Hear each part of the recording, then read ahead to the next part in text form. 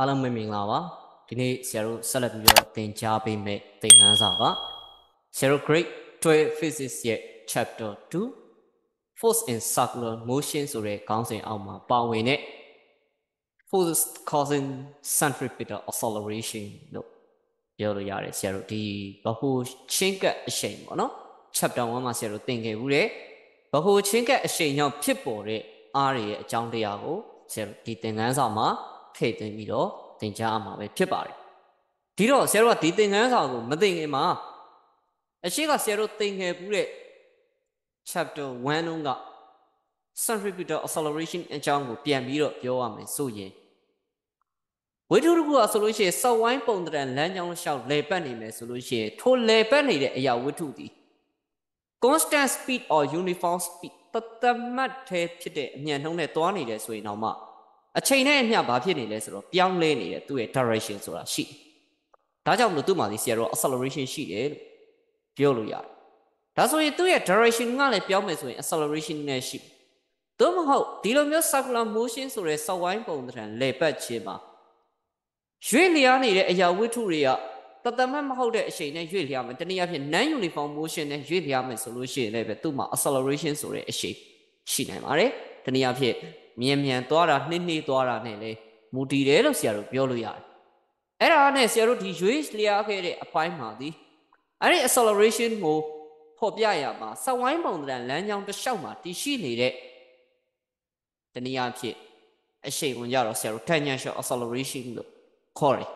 နော်မွန်းထီမြင်တစ်လျှောက်ရှိနေတဲ့အရှိန်လို့လည်းဆရာတို့ပြောကြအဲ့တော့နောက်ထပ်တစ်ခုကကြတော့ဆရာတို့ဘာလဲဆိုတော့ ဒီစဝိုင်းပုံသဏ္ဍာန်လမ်းကြောင်းလျှောက်လေပတ်နေတဲ့ဝိထုသည်ဘဟိုကိုဥတီနေမယ်ဆိုရင်သူ့မှာဒီ centripetal acceleration ရှိတယ်လို့လည်းဆရာတို့ပြောခဲ့တယ်။ကဲဒါဆိုရင်အခုဒီ centripetal acceleration ကြောင့်ဖြစ်ပေါ်တဲ့အားကိုဆရာတို့ကပြောရမယ်ဆိုရင် force လို့ပြောလိုက်တာနဲ့ဆရာတို့အတွက်မသိမဖြစ်သိရမယ် theory လေးတစ်ခုရှိပါတယ်။အဲ့ဒါကကြတော့ဆရာတို့အားတို့ရဲ့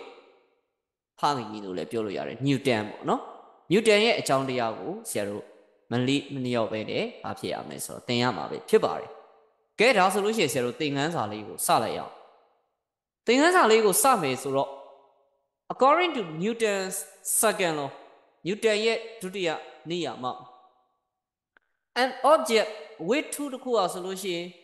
there is accelerated mass the net foot added on it အဲ့တော့ဆရာတို့ကဒီအရာဝတ္ထုတစ်ခုကိုအတရင်အားတက်ရောက်လိုက်မယ်ဆိုရင်အဲ့အရာဝတ္ထုမှာဒီ acceleration ဆိုတဲ့အရှိန်ရှိဒီအရာဝတ္ထုဟာဆိုလို့ရှိရင်ရက်နေသည်ပဲဖြစ်ဖြစ်စေသို့မဟုတ် constant velocity လို့ခေါ်တဲ့ပုံမှန်မြန်နှုန်းနဲ့ရွေ့လျားနေတဲ့အရာဝတ္ထုပဲဖြစ်ဖြစ်စေအတရင်အားတက်ရောက်ခြင်းမရှိဘူးဆိုလို့ရှိရင်သူ့မှာဒီဆရာတို့ acceleration ဆိုတဲ့အရှိန်ဆိုတာရှိမှာမဟုတ်ဒါကြောင့်မလို့ဆရာတို့က force နဲ့ acceleration ကိုဆက်ဆက်ပြီးတော့ပြောလိုက်မယ်ဆိုလို့ရှိရင် acceleration ဒီ force နဲ့ဘယ်လိုအချိုးကျလဲဆိုတော့ directly proportional တိုက်ရိုက်အချိုးကျအရှိန်နဲ့ရင်အားနေမယ်အရှိန်များရင်အားများမယ်ထိုနည်းတူဆိုပဲအားများရင်အရှိန်များမယ်အားနေရင်အရှိန်နေမယ်ဒါကြောင့်မို့ acceleration နဲ့ force နဲ့တိုက်ရိုက်အချိုးကျတယ်ဆိုတော့ဆရာတို့ greater အဆင့်လောက်မှာတွေကသင်ခဲ့ဘူးတယ်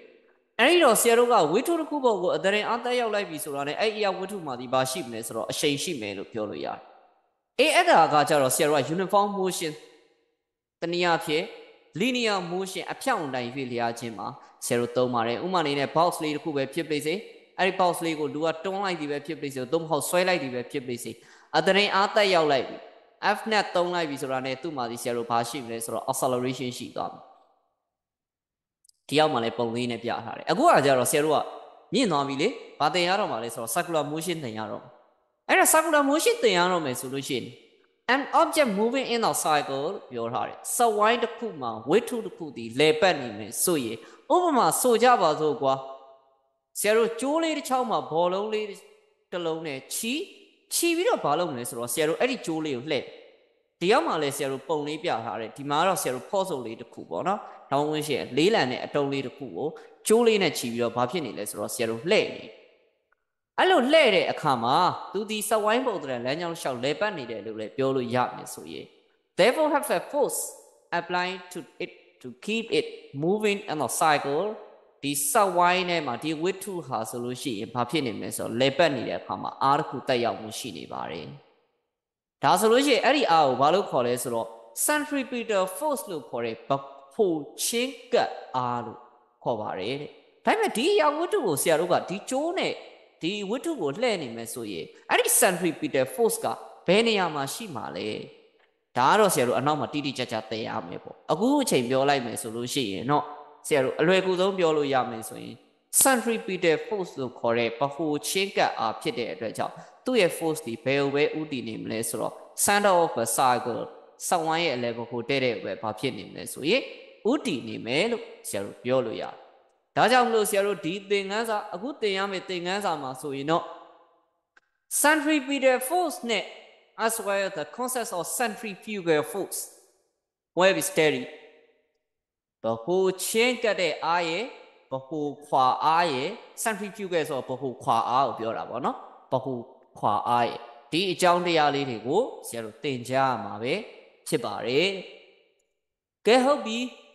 ဒါဆိုလို့ရှိရင်ဆရာတို့2.1ကိုစတင်ပြီးတော့ပြောမယ်ဆိုလို့ရှိရင် forces causing centripetal acceleration ဘဟိုချင်းကပ်အားကြောင့်ဖြစ်ပေါ်တဲ့ဘဟိုချင်းကပ်အချိန်ကြောင့်ဖြစ်ပေါ်တဲ့အားများလို့အတိတ်ပဲရပါတယ်။ဒါကြောင့်မလို့ဆရာတို့အရှိသင်ခန်းစာမှာတော့သင်ခဲ့ရဘူးပြီးဖြစ်ပါတယ်။ It has been shown in the previous chapter that for uniform circular motion နေရာဖြင့် speed v constant the acceleration is centripetal acceleration which is directed toward the center of the cycle at any moment လို့ပြောထားတယ်ကဲဒါဆိုရင်တစ်ခုချင်းစီပြန်ပြီးတော့ပြောအောင်ဆရာတို့အရှိရ chapter မှာသင်ငယ်တုန်းကဆိုလို့ရှိရင် uniform circular motion တသက်မတည်းဖြစ်တဲ့စဝိုင်းပုံသဏ္ဍာန်ရွေ့လျားမှုမှာဆိုရင် uniform လို့ပြောထားတဲ့အတွက်ကြောင့်ဆရာတို့က speed v ကိုဘာလို့ပြောလိုက်လဲဆိုတော့ constant လို့ပြောလိုက်နော် speed v ဆိုရင်ဘာဖြစ်မလဲဆိုတော့ constant ဖြစ်မယ် ကဲဒါဆိုလို့ရှိရင်ဆရာတို့က velocity ဒီ constant speed ဒီ constant ဖြစ်နေတော့လဲပဲဆရာတို့က direction ဒီ constant မဟုတ်ပါဘူး direction ကအချိန်နဲ့မျှဘာဖြစ်နေမလဲဆိုတော့ပြောင်းလဲနေမယ်အဲ့လိုအခြေအနေမျိုးမှာဒီ acceleration ဆိုတဲ့အချိန်ဆိုတာဖြစ်ပေါ်တယ်ဒါဆိုလို့ရှိရင် it's a centripetal acceleration is direct toward the center of a cycle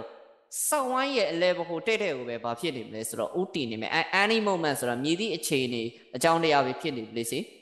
ဆက်ဝိုင်းရဲ့အလဲဘကိုတဲ့တဲ့ကိုဥတည်နေမယ်ဒီပုံလေးမှာလည်းဆရာတို့ကြည့်နိုင်မြင်နိုင်ပါတယ်ဆက်ဝိုင်းပုံသဏ္ဍာန်လမ်းကြောင်းလျှောက်မှာအစိမ်းရောင်အလုံးလေးကဘာဖြစ်နေလဲဆိုတော့လေပတ်နေတယ်လေပတ်မှုတိုင်းလေပတ်မှုတိုင်းမှာဒီသူ့ရဲ့အရှိန်ဒီဘယ်ကိုဥတည်နေလဲဆိုတော့စံတော်ကိုဥတည်နေတယ်ဒါကြောင့်လို့ဆရာတို့ centripetal acceleration လို့ခေါ်ခဲ့တယ်လို့ပဲ force နဲ့ acceleration ဒီ same direction ဥတည်ချက်တူတဲ့အတွက်ကြောင့်ဆရာတို့သူဒီ FC ဆိုတာ centripetal force ကိုပြောတာသူကလည်းပဲဘဟုကိုဥတည်နေတယ် ထုံနည်းတူစားပဲဆရာတို့ဒီမှာစောင်းဝိုင်းပုံစံလမ်းကြောင်းတစ်လျှောက်မှာဝိထုကဘာဖြစ်နေမလဲဆိုတော့ရွေ့လျားနေမယ်ဆိုလို့ရှိရင်အဲ့ဒီဝိထုရွေ့လျားမှုရဲ့ acceleration of force ကစံတာကိုဥတည်နေတယ်လို့ပြောလို့ရတယ်ဒါကြောင့်မလို့ဆရာတို့က Newton second law နဲ့ပြန်ပြီးတော့ပြောမယ်ဆိုလို့ရှိရင်နော်တဲ့ according to the Newton's second law an object in the circular motion require a net force direct toward the center of the circle Newton second law ရပြောမယ်ဆိုလို့ရှိရင် အသရင်အတက်ရောက်တဲ့အခါမှာဒီဝိထုဟာဆိုရင်နဲ့စဝိုင်းပုံသဏ္ဍာန်လမ်းကြောင်းထဲမှာလေပတ်နေတဲ့ဝိထုဟာဆိုလို့ရှိရင်ဒီစဝိုင်းရဲ့လေဘကိုတက်တဲ့ကိုဥတီဖို့အတွက် net force လို့ခေါ်တဲ့အသရင်အားတစ်ခုလိုအပ်ပါလိမ့်မယ်အဲ့ဒီ force ကိုဘာလို့ခေါ်လဲဆိုတော့ centripetal force လို့ခေါ်လို့ရပါတယ် in the absence of this force ဒီအားဒါမရှိဘူးဆိုလို့ရှိရင်တော့ Newton ရဲ့ first law လုံးကလိုမျိုးပဲ အတရင်အားတက်ရောက်ခြင်းမရှိဘူးဆိုရင်ရက်နေတဲ့အရာကလည်းဆက်နေပြီးတော့ရက်နေလိမ့်မယ်နော်ရွေးနေတဲ့အရာဝိထုကလည်းသူ့ရဲ့ပုံမှန်ရွေးနေတဲ့အတိုင်းပဲရွေးနေလိမ့်မယ်ဒီမှာတော့ဆရာတို့မရွေးတဲ့အပိုင်းကိုသုံးမှာ RS ကိုသုံးမှာဖြစ်တဲ့အတွက်ကြောင့် Newton first law အရာဆိုလို့ရှိရင်တနည်းအားဖြင့် laws of inertia အရာဆိုလို့ရှိရင်ရက်နေတဲ့အရာကလည်းဆက်လက်ပြီးတော့ရက်နေမယ်ဒါကြောင့်မလို့ဒီအားသာမရှိဘူးဆိုလို့ရှိရင်ဒီဝိထုကလည်းပဲစောက်ဝိုင်းပုံသဏ္ဍာန်လမ်းကြောင်းတစ်လျှောက်မှာရွေ့လျားနေမှာမရှိဘူးဒါပေမဲ့သူဒီ straight line အဖြောင့်အတိုင်းပဲဘာဖြစ်နေမလဲဆိုတော့ သွားနေလိမ့်မယ်ဆိုပြီးတော့ပြောပါတယ်ကဲဒါဆိုလို့ရှိရင်ဆရာတို့သူ့ကို formula လေးတွက်ထုတ်မယ်ဆိုရင်ဆရာတို့ဘာနဲ့ပဲတွက်ထုတ်အောင်မလဲဆိုတော့ Newton second law နဲ့အရှိတ်ခန်းမှာသင်ခဲ့တဲ့ centripetal acceleration နဲ့ကိုပဲဆရာတို့ချိန်ပြီးမှရဒါကြောင့်မလို့ဆရာတို့က using Newton second law တဲ့ Newton ရဲ့ဒုတိယနိယာမအရာတနည်းအားဖြင့် F net equal to ma ရပြောမယ်ဆိုရင် centripetal force ရဲ့ magnitude ကိုရှာမယ်ဆိုရင် centripetal force ကိုသင်သင်္ကေတက FC နဲ့သုံးတာပေါ့နော် FC equal to m AC AC ဆိုတာဒီ centripetal acceleration ကိုပြောတာအရှိခန်းမှာပူပူနွေးနွေးလေးသင်ခဲ့ရသေးပါတယ် centripetal acceleration formula ဘာလဲဆိုတော့ဆရာတို့တနည်းအားဖြင့် v square by r ဒီမှာဆရာ m နှစ်ခါထက်နေရနော် timing error လေးပါအဲ့တော့ v square by r အဲ့တော့ရှေ့က m နဲ့မြှောက်တော့ mv square by r ဆိုတဲ့ formula လေးဘာဖြစ်လာလဲဆိုတော့ထွက်လာတယ် ဒါက formula တစ်ခုအကယ်၍တော့ဆရာတို့က angular quantity တွေနဲ့တာသက်ဆိုင်ပြီးတော့ပြောရမယ်ဆိုလို့ရှိရင်တော့ v equal to r omega အရာ fc equal to m r omega square ဆိုပြီးတော့လေဆရာတို့ပြောလို့ရပါတယ်ဒါဆိုရင်ဆရာတို့စောစောစီးစီးပုံသင်နည်းလေးသိလိုက်ရပါပြီ centripetal force ရဲ့ formula ဒီမူလပထမအဆုံး formula fc equal to mv square by r ရဲ့ နောက်ထပ်တစ်ခုကကျတော့ fc equal to mr omega square ပဲဖြစ်ပါတယ်ကဲဒါဆိုလို့ရှိရင်နောက်ထပ်တစ်ခုကကျတော့ဘာလဲဆိုတော့ for an object to move in a circle လို့ပြောထားတယ်စက်ဝိုင်းတစ်ခုထဲမှာဝိတ္ထုတစ်ခုကလေပတ်နေမယ်ဆိုရင်သို့မဟုတ်ရွေ့နေမယ်ဆိုလို့ရှိရင် a force is needed to drive from a straight line path and accelerated toward the center of the cycle ဒီစက်ဝိုင်းထဲမှာဝိတ္ထုတစ်ခုကရွေ့နေမယ်ဆိုလို့ရှိရင်အားတစ်ခုဒီလိုအပ်တယ် to divide divide လုပ်ဖို့အတွက်လိုအပ်လိမ့်မယ်တနည်းအားဖြင့်ဒီ straight line path ကနေပြီးတော့တနည်းအားဖြင့် तू ကသွားနေမှာကဆရာတို့ဒီလိုမျိုးအဖြောင့်ကနေပြီးတော့မှဘာဖြစ်မလဲဆိုတော့စောင်းဝိုင်းပုံသဏ္ဍာန်လမ်းကြောင်းတစ်လျှောက်ကိုသွားနေတဲ့ပုံစံလေးကိုပြမယ်ဆိုရင်တော့မှသူ့ရဲ့ဒီဝိထုရဲ့လေပတ်နေတဲ့ circular path တောက်လျှောက်မှာဘာဖြစ်နေမလဲဆိုတော့သူ့ရဲ့ပဟိုကိုပဲအရှင်ကဘာဖြစ်နေမလဲဆိုတော့ဥတီနေပါလိမ့်မယ် ဥပမာအနေနဲ့ပြောရမယ်ဆိုလို့ရှိရင်တော့ခုနအတိုင်းပဲပေါ့နော်ကျိုးလေးတစ်ချောင်းရဲ့အစိုးမှာဘောလုံးလေးတစ်လုံးကိုခြီးပြီးတော့စောင်းဝိုင်းပုံသဏ္ဍာန်လမ်းကြောင်းတစ်လျှောက်လေပတ်လှည့်နေအဲ့ဒါဆိုလို့ရှိရင် तू ကဒီကြိုးကိုကင်ပြီးတော့လှည့်နေတဲ့အခါမှာအဲ့ဒီကြိုးမှာဒီဘာအားရှိမလဲဆိုတော့ tension ဆိုတဲ့တင်းအားရှိပါတယ်အဲ့ဒီစကားလုံးကဆရာတို့အခုမှသင်ရတာမဟုတ်ဘူးဟို grade 10မှာတည်းကသင်ခဲ့ရတဲ့ tension တင်းအား chapter 3ရဲ့ရစပါတယ်အဲ့ဒီတော့ဆရာတို့ကဒီဘောလုံးပေါ်မှာလည်းပဲတနည်းအားဖြင့် ကျိုးကြောင့်ဖြစ်ပေါ်တဲ့ tension ဆိုတဲ့တင်းအားရှိတယ်ဒါဆိုရင် tension ကဘာမှရှိနေရလဲဆိုတော့အကျိုးထဲမှာပဲရှိနေရလို့ပြောလို့ရတယ်ဒါကြောင့်မလို့ the tension in the string ဒီကျိုးထဲမှာရှိတဲ့ tension ဆိုတဲ့တင်းအားသည် provide the required centripetal force for a ball to keep moving in a circular path လို့ပြောထားတယ်။အကယ်၍သာဒီကျိုးမှာသာ tension ဆိုတဲ့တင်းအားသာမရှိဘူးဆိုလို့ရှိရင်သူဒီ centripetal force ကို circular path တောက်လျှောက်ထိမ့်မိထားနိုင်ရင်ရှိမလားဆိုတော့မရှိဘူး ဒီကျိုးကသာလျင်ဒီဝိထုကိုဆရာတို့က circular pack လို့ခေါ်တဲ့စက်ဝိုင်းပုံစံလမ်းကြောင်းလျှောက်လေပတ်ပေးနိုင်ဖို့အတွက်အဓိကထိမ့်မိထားနိုင်တယ်။ဒါကြောင့်မလို့ဆရာတို့ဒီ tension ဟာဆိုလို့ရှိရင် centripetal force ကိုဖော်ပြနေတယ်လို့ပြောလို့မရဘူးလားဆိုတော့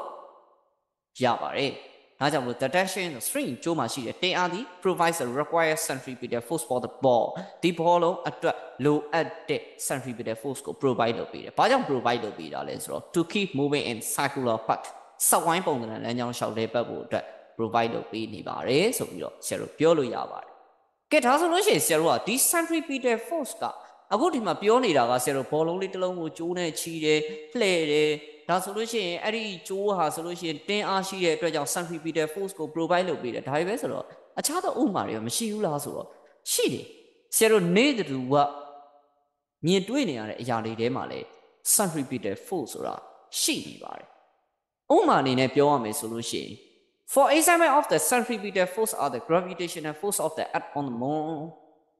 orbiting the earth နောက်တစ်ခါကျတော့ gravitational force of the sun on the planet orbiting the sun the electric force acting on the electron orbiting the nucleus ဟောပြန်ပြီးတော့ပြောမယ်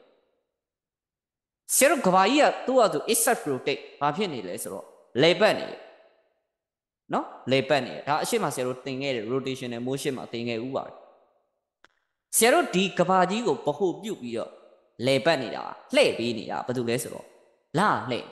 ဒါဆိုလို့ရှိရင်အဲ့လာဒီကဘာရဲ့ dress ဆွဲအားကြောင့်တိကျတဲ့နန်းကြောင်းတွေတော့ဘာဖြစ်နိုင်လဲဆိုတော့လေပတ်နိုင်တယ်ပြောလို့ရတယ်ဒါကြောင့်မလို့ဆရာတို့ကဒီမှာဆိုလို့ရှိရင် gravitational force of the earth on the moon orbiting the earth လို့ပြောထားတယ်ဒီလပုံမှာတက်ရောက်တဲ့ကဘာရဲ့ dress ဆွဲအားကြောင့်ဒီလကဘာရဲ့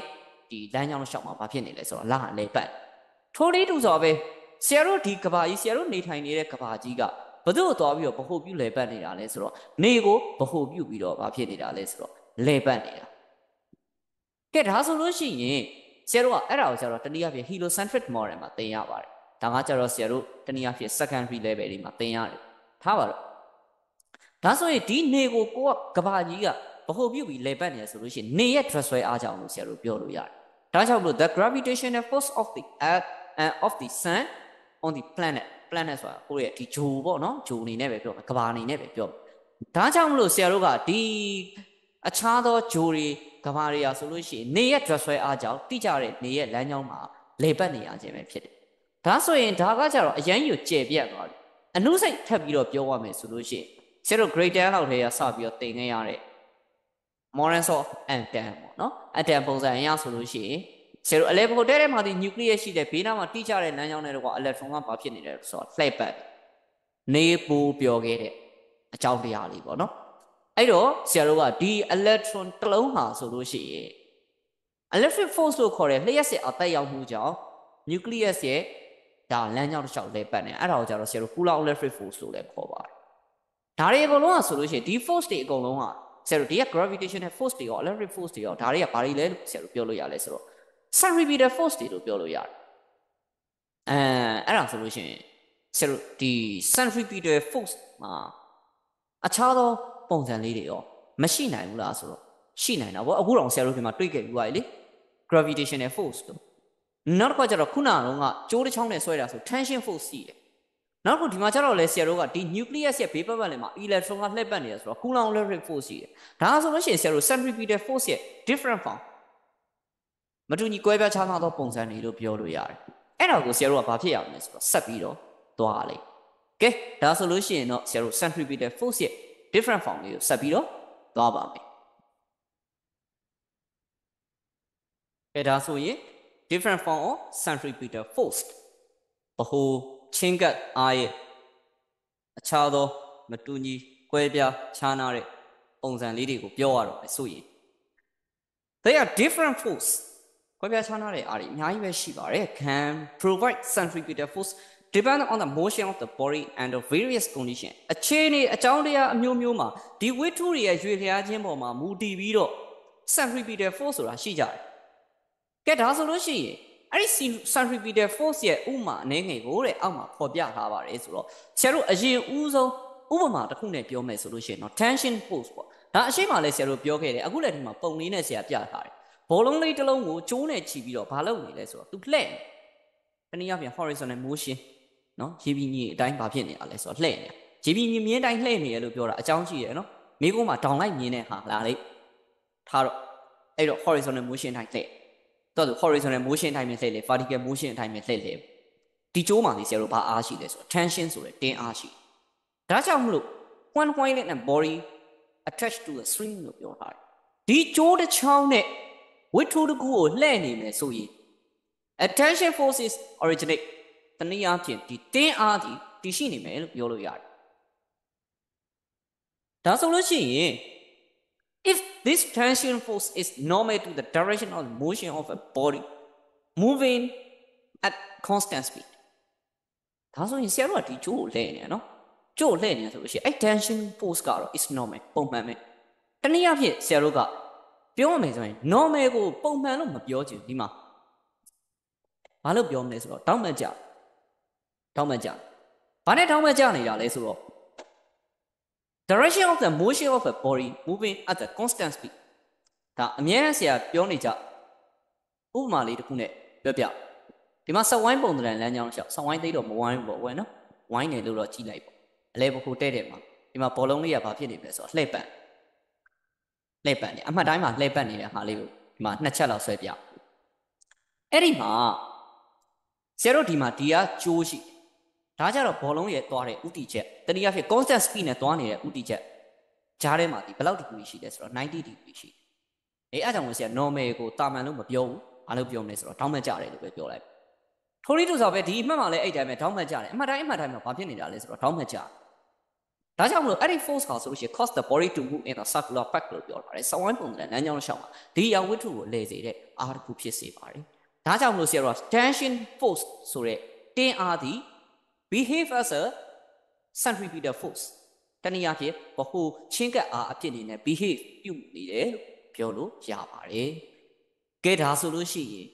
ဒုတိယဥပမာလေးတစ်ခုကကြတော့ gravitational force ဆရာအရှိမလည်းရှင်းခဲ့ပါတယ် gravitational force လို့ခေါ်တဲ့ dress ဆွဲအားသည် centripetal force အဖြစ်အနေနဲ့ဘာကြောင့်ပြုမှုပေးလဲဒီမှာဆရာတို့ကကဘာကြီးကလည်းသူကိုယ်တိုင်ပဲ ASF protect ဘာဖြစ်နေလဲဆိုတော့သူကိုယ်တိုင်လှည့်ပတ်နေတယ် အဲ့ဒါလို့ပဲဘာကိုဘ ਹੁ ပြုတ်ပြီးတော့လှည့်ပတ်နေရလဲဆိုတော့နေကိုဘ ਹੁ ပြုတ်ပြီးလှည့်ပတ်နေတယ်ဆိုရင်နေရဲ့ dress ဆွဲအားကြောင့်လှည့်ပတ်နိုင်တိကျတဲ့လမ်းကြောင်းပါအကယ်၍သာနေရဲ့ dress ဆွဲအားကြောင့်တော့မလှည့်ချင်ဘူးဆိုရင်ကဘာသွားသူသွားချင်တဲ့နေရာသွားနေမှာနေဆိုတာလည်းဆရာတို့မြင်ရမှာမဟုတ်တော့အဲ့ကြမြင်ရမယ်ဆိုရင်တော့မှိတ်တုံမှိတ်တုံလေးပဲမြင်ရတော့ကျဲလေးတွေမျိုးပေါ့တိကျတဲ့လမ်းကြောင်းမှာမဟုတ်ဘဲနဲ့အဝေးကြီးကိုလည်းရောက်ချင်ရောက်သွားတောင်းရှင်နီးနီးလေးလည်းရောက်ချင်ရောက်သွားလိမ့်တနည်းအားဖြင့်နေတယ်လည်းဝင်ရင်ဝင်သွားလိမ့်ဒါသည်ဘာကြောင့်အဲ့လိုမျိုးဖြစ်အောင်လုပ်ပေးထားတာလဲဆိုတော့ နေရဲ့ dress ဆွဲအားကြောင့်သာနေရင်ဘာဖြစ်လဲဆိုတော့တိကျတဲ့လမ်းကြောင်းတစ်လျှောက်မှာလှည့်ပတ်စေနိုင်တယ်လို့ဆိုလို့ပြောလို့ရတယ်ဒါကြောင့်မလို့ the an attractive force exists between the sun and the earth လို့ပြောထားတယ်နေနဲ့ကဘာနဲ့ဂျားမှာတနည်းအားဖြင့် attractive force လို့ခေါ်တဲ့ဆွဲငင်အားကိုတက်ရောက်တည်ရှိနေတယ်ဒါဆိုလို့ရှိရင် in the direction perpendicular to the path of this earth ကဘာရဲ့လမ်းကြောင်းရှောက်မှာဘာဖြစ်နေလဲဆိုတော့တောင်းမှတ်ကြတယ် ခုနကတော့လည်းပြောခဲ့ပါတယ်เนาะဆရာတို့90 degree ဖြစ်နေတာကိုပြောခဲ့ပါတယ်ဒါကြောင့်မလို့ this boat ဒီအားဟာဆိုလို့ရှိရင် cause the earth to move in a circular path around the sun ပြောထားတယ်ဒီအားဟာဆိုလို့ရှိရင်ဆရာတို့နေရဲ့ဘေးပတ်ပတ်လည်မှာစဝိုင်းပုံတရံလမ်းကြောင်းနဲ့ကဘာကိုလှည့်ပတ်စေနိုင်ပါတယ်ဒါကြောင့်မလို့ဆရာတို့ gravitational force ဟာဆိုလို့ရှိရင်လည်းပဲ behave or provide เนาะတနည်းအားဖြင့်ထောက်ပံ့ပေးတာပဲဖြစ်ဖြစ်ဒါမှမဟုတ်လို့ရှိရင်ပြုတ်မှုတာပဲဖြစ်ဖြစ်ဘာအဖြစ်နေနဲ့ပြုတ်မှုတာလဲဆိုတော့ centripetal force အဖြစ်နေနဲ့ ပြုတ်မှုပေးပါတယ်ကဲဒါဆိုလို့ရှိရင်နောက်ထပ်တစ်ခုကကျတော့ electric force အရှိမပြောခဲ့တဲ့ဟာလေးပဲဆရာတို့ဒီ nucleus ရဲ့ဘေးပတ်ပတ်လည်မှာတိကျတဲ့လမ်းကြောင်းတွေကွာဘာလေးတွေကလှည့်ပတ်နေတယ်ဆိုတော့ electron လေးတွေကလှည့်ပတ်အဲ့ဒီလှည့်ပတ်တဲ့အားဒီ Coulomb electric force ကြောင့်လို့ဆရာတို့ပြောခဲ့အခုလည်းဒီမှာလဲလာပါပြီဆရာတို့ဒီ electron ထဲထဲမှာရှိတဲ့အလုံးကြီးကဘာကြီးလဲဆိုတော့ nucleus ကြီးအဲ့ဒီဘေးပတ်ပတ်လည်မှာ electron လေးတွေကဆိုလို့ရှိရင်သူ့ရဲ့တိကျတဲ့လမ်းကြောင်းနဲ့တကွဘာဖြစ်နေလဲဆိုတော့လှည့်ပတ် သွားလာနေကြတယ်ဒါဟာဆိုလို့ရှိရင် Coulomb electric force between the nucleus and the electron nucleus နဲ့ electron တို့ရဲ့ကြားမှာတက်ရောက်နေတဲ့ဒီ Coulomb electric force ဟာဆိုလို့ရှိရင် as a required centripetal force for the electron to move around the nucleus nucleus ရဲ့ဘေးပတ်ပတ်လေမှာ electron လေးကိုလှည့်ပတ်ဖို့အတွက် centripetal force တစ်ခုအနေနဲ့ရပ်တည်ပေးနေပါတယ်။တနည်းအားဖြင့် required ဆိုတော့လေလိုအပ်ပါတယ်ဆရာတို့ပြောလို့ရပါတယ်။ ကဲဒါဆိုလို့ရှိရင်ဆရာတို့ကနောက်ထပ်အားတစ်ခုလာပါဦးမယ်။အဲ့ဒါကကြတော့ဆရာတို့ဘာလဲဆိုတော့ frictional force ပုံမှုအားလို့ခေါ်တယ်။ပုံမှုအားဆိုတဲ့ဝေါ်ဟာရကိုဆရာတို့အခုမှသင်ရတာမဟုတ်ဘူး။ထုံးစံအတိုင်းပြောနေကြစကားအတိုင်းပဲသင်လိုက်အောင်မယ်။ဆရာတို့ grade 10မှာလည်းသင်ခဲ့ရ။ဒီမှာဆရာတို့ကကျမ်းမြင်ရှိဘူး။သို့မဟုတ်မြေကြီးရှိ။အဲ့ဒီပုံမှာအရာဝတ္ထုတစ်ခုကိုတင်လိုက်မယ်။အဲ့လိုတင်လိုက်တဲ့အခါမှာ ဆရာတို့လူလေးတယောက်ကဘာဖြစ်နေမလဲဆိုတော့တွန်းမယ်ဒီအရာဝတ္ထုကိုတွန်းတာပဲဖြစ်ဖြစ်ဆွဲတာပဲဖြစ်ဖြစ်ပေါ့နော်။အဲ့တော့ဆရာတွန်းတယ်လို့ပြောလိုက်ဒါဆိုလို့ရှိရင်တွန်းတဲ့အတိုင်းဘာဖြစ်နေမလဲဆိုတော့ motion ဆိုတဲ့ရွေလျားမှုဆိုတာဖြစ်ပေါ်ဒါဆိုလို့ရှိရင်အဲ့ဒီရွေလျားမှုကိုစန့်ကျင်ပေးနေတဲ့အားတစ်ခုဆိုတာရှိပါတယ်အဲ့ဒါဒီ fractional force လို့ဆရာတို့ပြောလို့ရပါတယ် fractional force ပေါ်မှာဆရာတို့ static fraction တွေ kinetic fraction တွေရှိသေးတယ် loss and fraction force လို့သာမှတ်ထားနော် fraction force ရှိဒါဆိုရင် တနည်းအားဖြင့် fraction force ဆိုတဲ့အရာဒီ motion of a body ဝတ္ထုတစ်ခုရဲ့ရွေလျားမှု resist cool ကံပေးတဲ့ force အားအဲ့ဒီအောက် fractional force တုတ်မှုအားလို့ခေါ်တယ်ဒါဆိုရင်ဆရာတို့ဒီ centripetal force နဲ့ဘယ်လိုများသက်ဆိုင်လဲဆိုတော့တနည်းအားဖြင့်အခုဒီမှာမောင်းနေတာကစက်ဝိုင်းပုံစံလမ်းကြောင်းဆရာတို့ရန်ကုန်မြို့မှာပဲဖြစ်ဖြစ်နေပြီးတော့မြို့မှာပဲဖြစ်ဖြစ်နော်အခြားသောမြို့ကြီးတွေမှာပဲဖြစ်ဖြစ်အဝိုင်းဆိုတာရှိအဝိုင်းအဲ့ဒီလမ်းကြောင်းလျှောက်ဘာဖြစ်နေလဲဆိုတော့ဒီကားမောင်းနေဒီမှာလည်းဒီကားလေးကအဝိုင်းတိုင်းပဲမောင်းနေတ နည်းအားဖြင့်အဲ့ဒီမှာမှာဆရာတို့ကနှစ်မျိုးရှိအဲ့ဒါကကြတော့ဆရာတို့ဘာလဲဆိုတော့ bandwidth ရဲ့တနည်းအားဖြင့် bandgap ရဲ့ unbound rope or unbound cuff ရဲ့တနည်းအားဖြင့် flat ဖြစ်နေတဲ့ဟာပြားပြားလေးဖြစ်နေတာမြေပြန့်လို့လည်းပြောလို့ရတယ်တချို့လမ်းတွေကကျတော့နည်းနည်းလေးစောင်းနေအဲ့ဒီအပိုင်းကဆရာတို့အနောက်မှာဆက်သွားမှာပေါ့နော်အဲ့ဒီတော့ diffractional force နဲ့ဘယ်လိုများသက်ဆိုင်လဲဆိုတော့ when the car turn in the circular path of a cuff လို့ပြောထားတယ် ဒီကားတစ်စီးဟာဆိုလို့ရှိရင်ဆရာတို့ဒီစဝိုင်းပုံသဏ္ဍာန်လမ်းကြောင်းလျှောက်ပါဖြစ်နေမယ်ဆိုတော့လှည့်ပတ်နေမယ်ဆိုရင်အဲ့ဒီဒီကားတာယာနဲ့လမ်းနဲ့ကြားမှာဒီပုတ်မှုအားဆိုတာရှိတယ်ပုတ်မှုအားသာမရှိရဘာဖြစ်မလဲဆိုတော့ကားကြီးကချော်သွားမှာပေါ့တနည်းအားဖြင့်ကားမှာဘယ်လိုပြောရမလဲဆိုတော့သူ့ဖေးရဲ့ပန်းကဒါပါနေတာတို့နောက်တစ်ခုကကြတော့ဆရာတို့ဘာလဲဆိုတော့လမ်းကမိုးအရန်ရွာနေတဲ့အတွက်ကြောင့်ချော်နေတာတို့ဒါဆိုလို့ရှိရင်ဆရာတို့ fraction ဒီဘာဖြစ်သွားနိုင်လဲဆိုတော့နည်းသွားနိုင်တယ် ဒါပေမဲ့အဲ့ဒါကိုဆရာတို့ကထည့်သွင်းပြီးတော့မပြောသေးဘူးမပြောသေးဘဲနဲ့ကားတာယာနဲ့လမ်းနဲ့ကြားထဲမှာဒီ fractional force လို့ခေါ်တဲ့ပုမှုအားဆိုတာရှိဒါကြောင့်မလို့ this fractional force ဒီပုမှုအားဟာဆိုလို့ရှိရင် and normally to the direction of a motion of a car ကားရဲ့ဥတီချက်နဲ့ normally တောက်မှတ်ကြတယ် perpendicular နဲ့အတူတူပဲဒါကြောင့်မလို့ဒီကားဟာဆိုလို့ရှိရင်စက်ဝိုင်းပုံစံလမ်းကြောင်းရှောင်းမှာလဲပတ်ရတဲ့အဓိကအကြောင်းရင်းပဲဖြစ်ပါတယ်ဒါဆိုရင်ဒီဖြစ်စဉ်မှာလဲပဲ fractional force ဟာဆိုလို့ရှိရင် centripetal force လို့ခေါ်တဲ့ဗဟိုချင်းကပ်အားအဖြစ်အနေနဲ့ပြုမှုပေးတယ်လို့ဆရာတို့ပြောလို့ရဒါဆိုလို့ရှိရင်ဆရာတို့ fractional force ဒီ linear motion အဖြောက်နိုင်ရွေ့လျားခြင်းမှာပါဝင်နေခဲ့မယ်ဆိုရင်ဝိထုရဲ့ရွေ့လျားခြင်းကိုခုခံပေးတယ်လို့ပြောလို့ရအခုဆရာတို့ဒီ circular motion မှာလည်းပဲအတူတူပဲဒါပေမဲ့အဲ့ဒီ fractional force ဒီ centripetal force အဖြစ်အနေနဲ့ဘာလို့ပေးတာလဲဆိုတော့ပြုမှုပေးတယ်လို့ပြောလို့ရပါတယ် ကဲဒါဆိုလို့ရှိရင်ဆရာတို့ကနောက်ထပ်တစ်ခု normal force တောင်းမှကြအားလို့ခေါ်တယ်အဲ့ဒါကိုကြတော့ဆရာတို့ကရှင်းရမယ်ဆိုလို့ရှိရင်ဝိထုတစ်ခုရှိတယ်ကွာတနေရာရာမှာထားထားတယ်ခုံပေါ်လေးမှာတင်ထားတယ်ဆိုကြပါစို့အဲ့ဒီဝိထုရဲ့တနေရာဖြစ်ရက်တည်မှုဒီဘာကြောင့်ဒီတိုင်းလေးရက်တည်နိုင်တာလဲဆိုတော့သူ့ပေါ်မှာ gravitational force လို့ခေါ်တဲ့ drag square တနည်းအားဖြင့် gravity drag square ရဲ့ influence လွှမ်းမိုးမှုအောက်မှာခံနေရတဲ့အတွက်ကြောင့်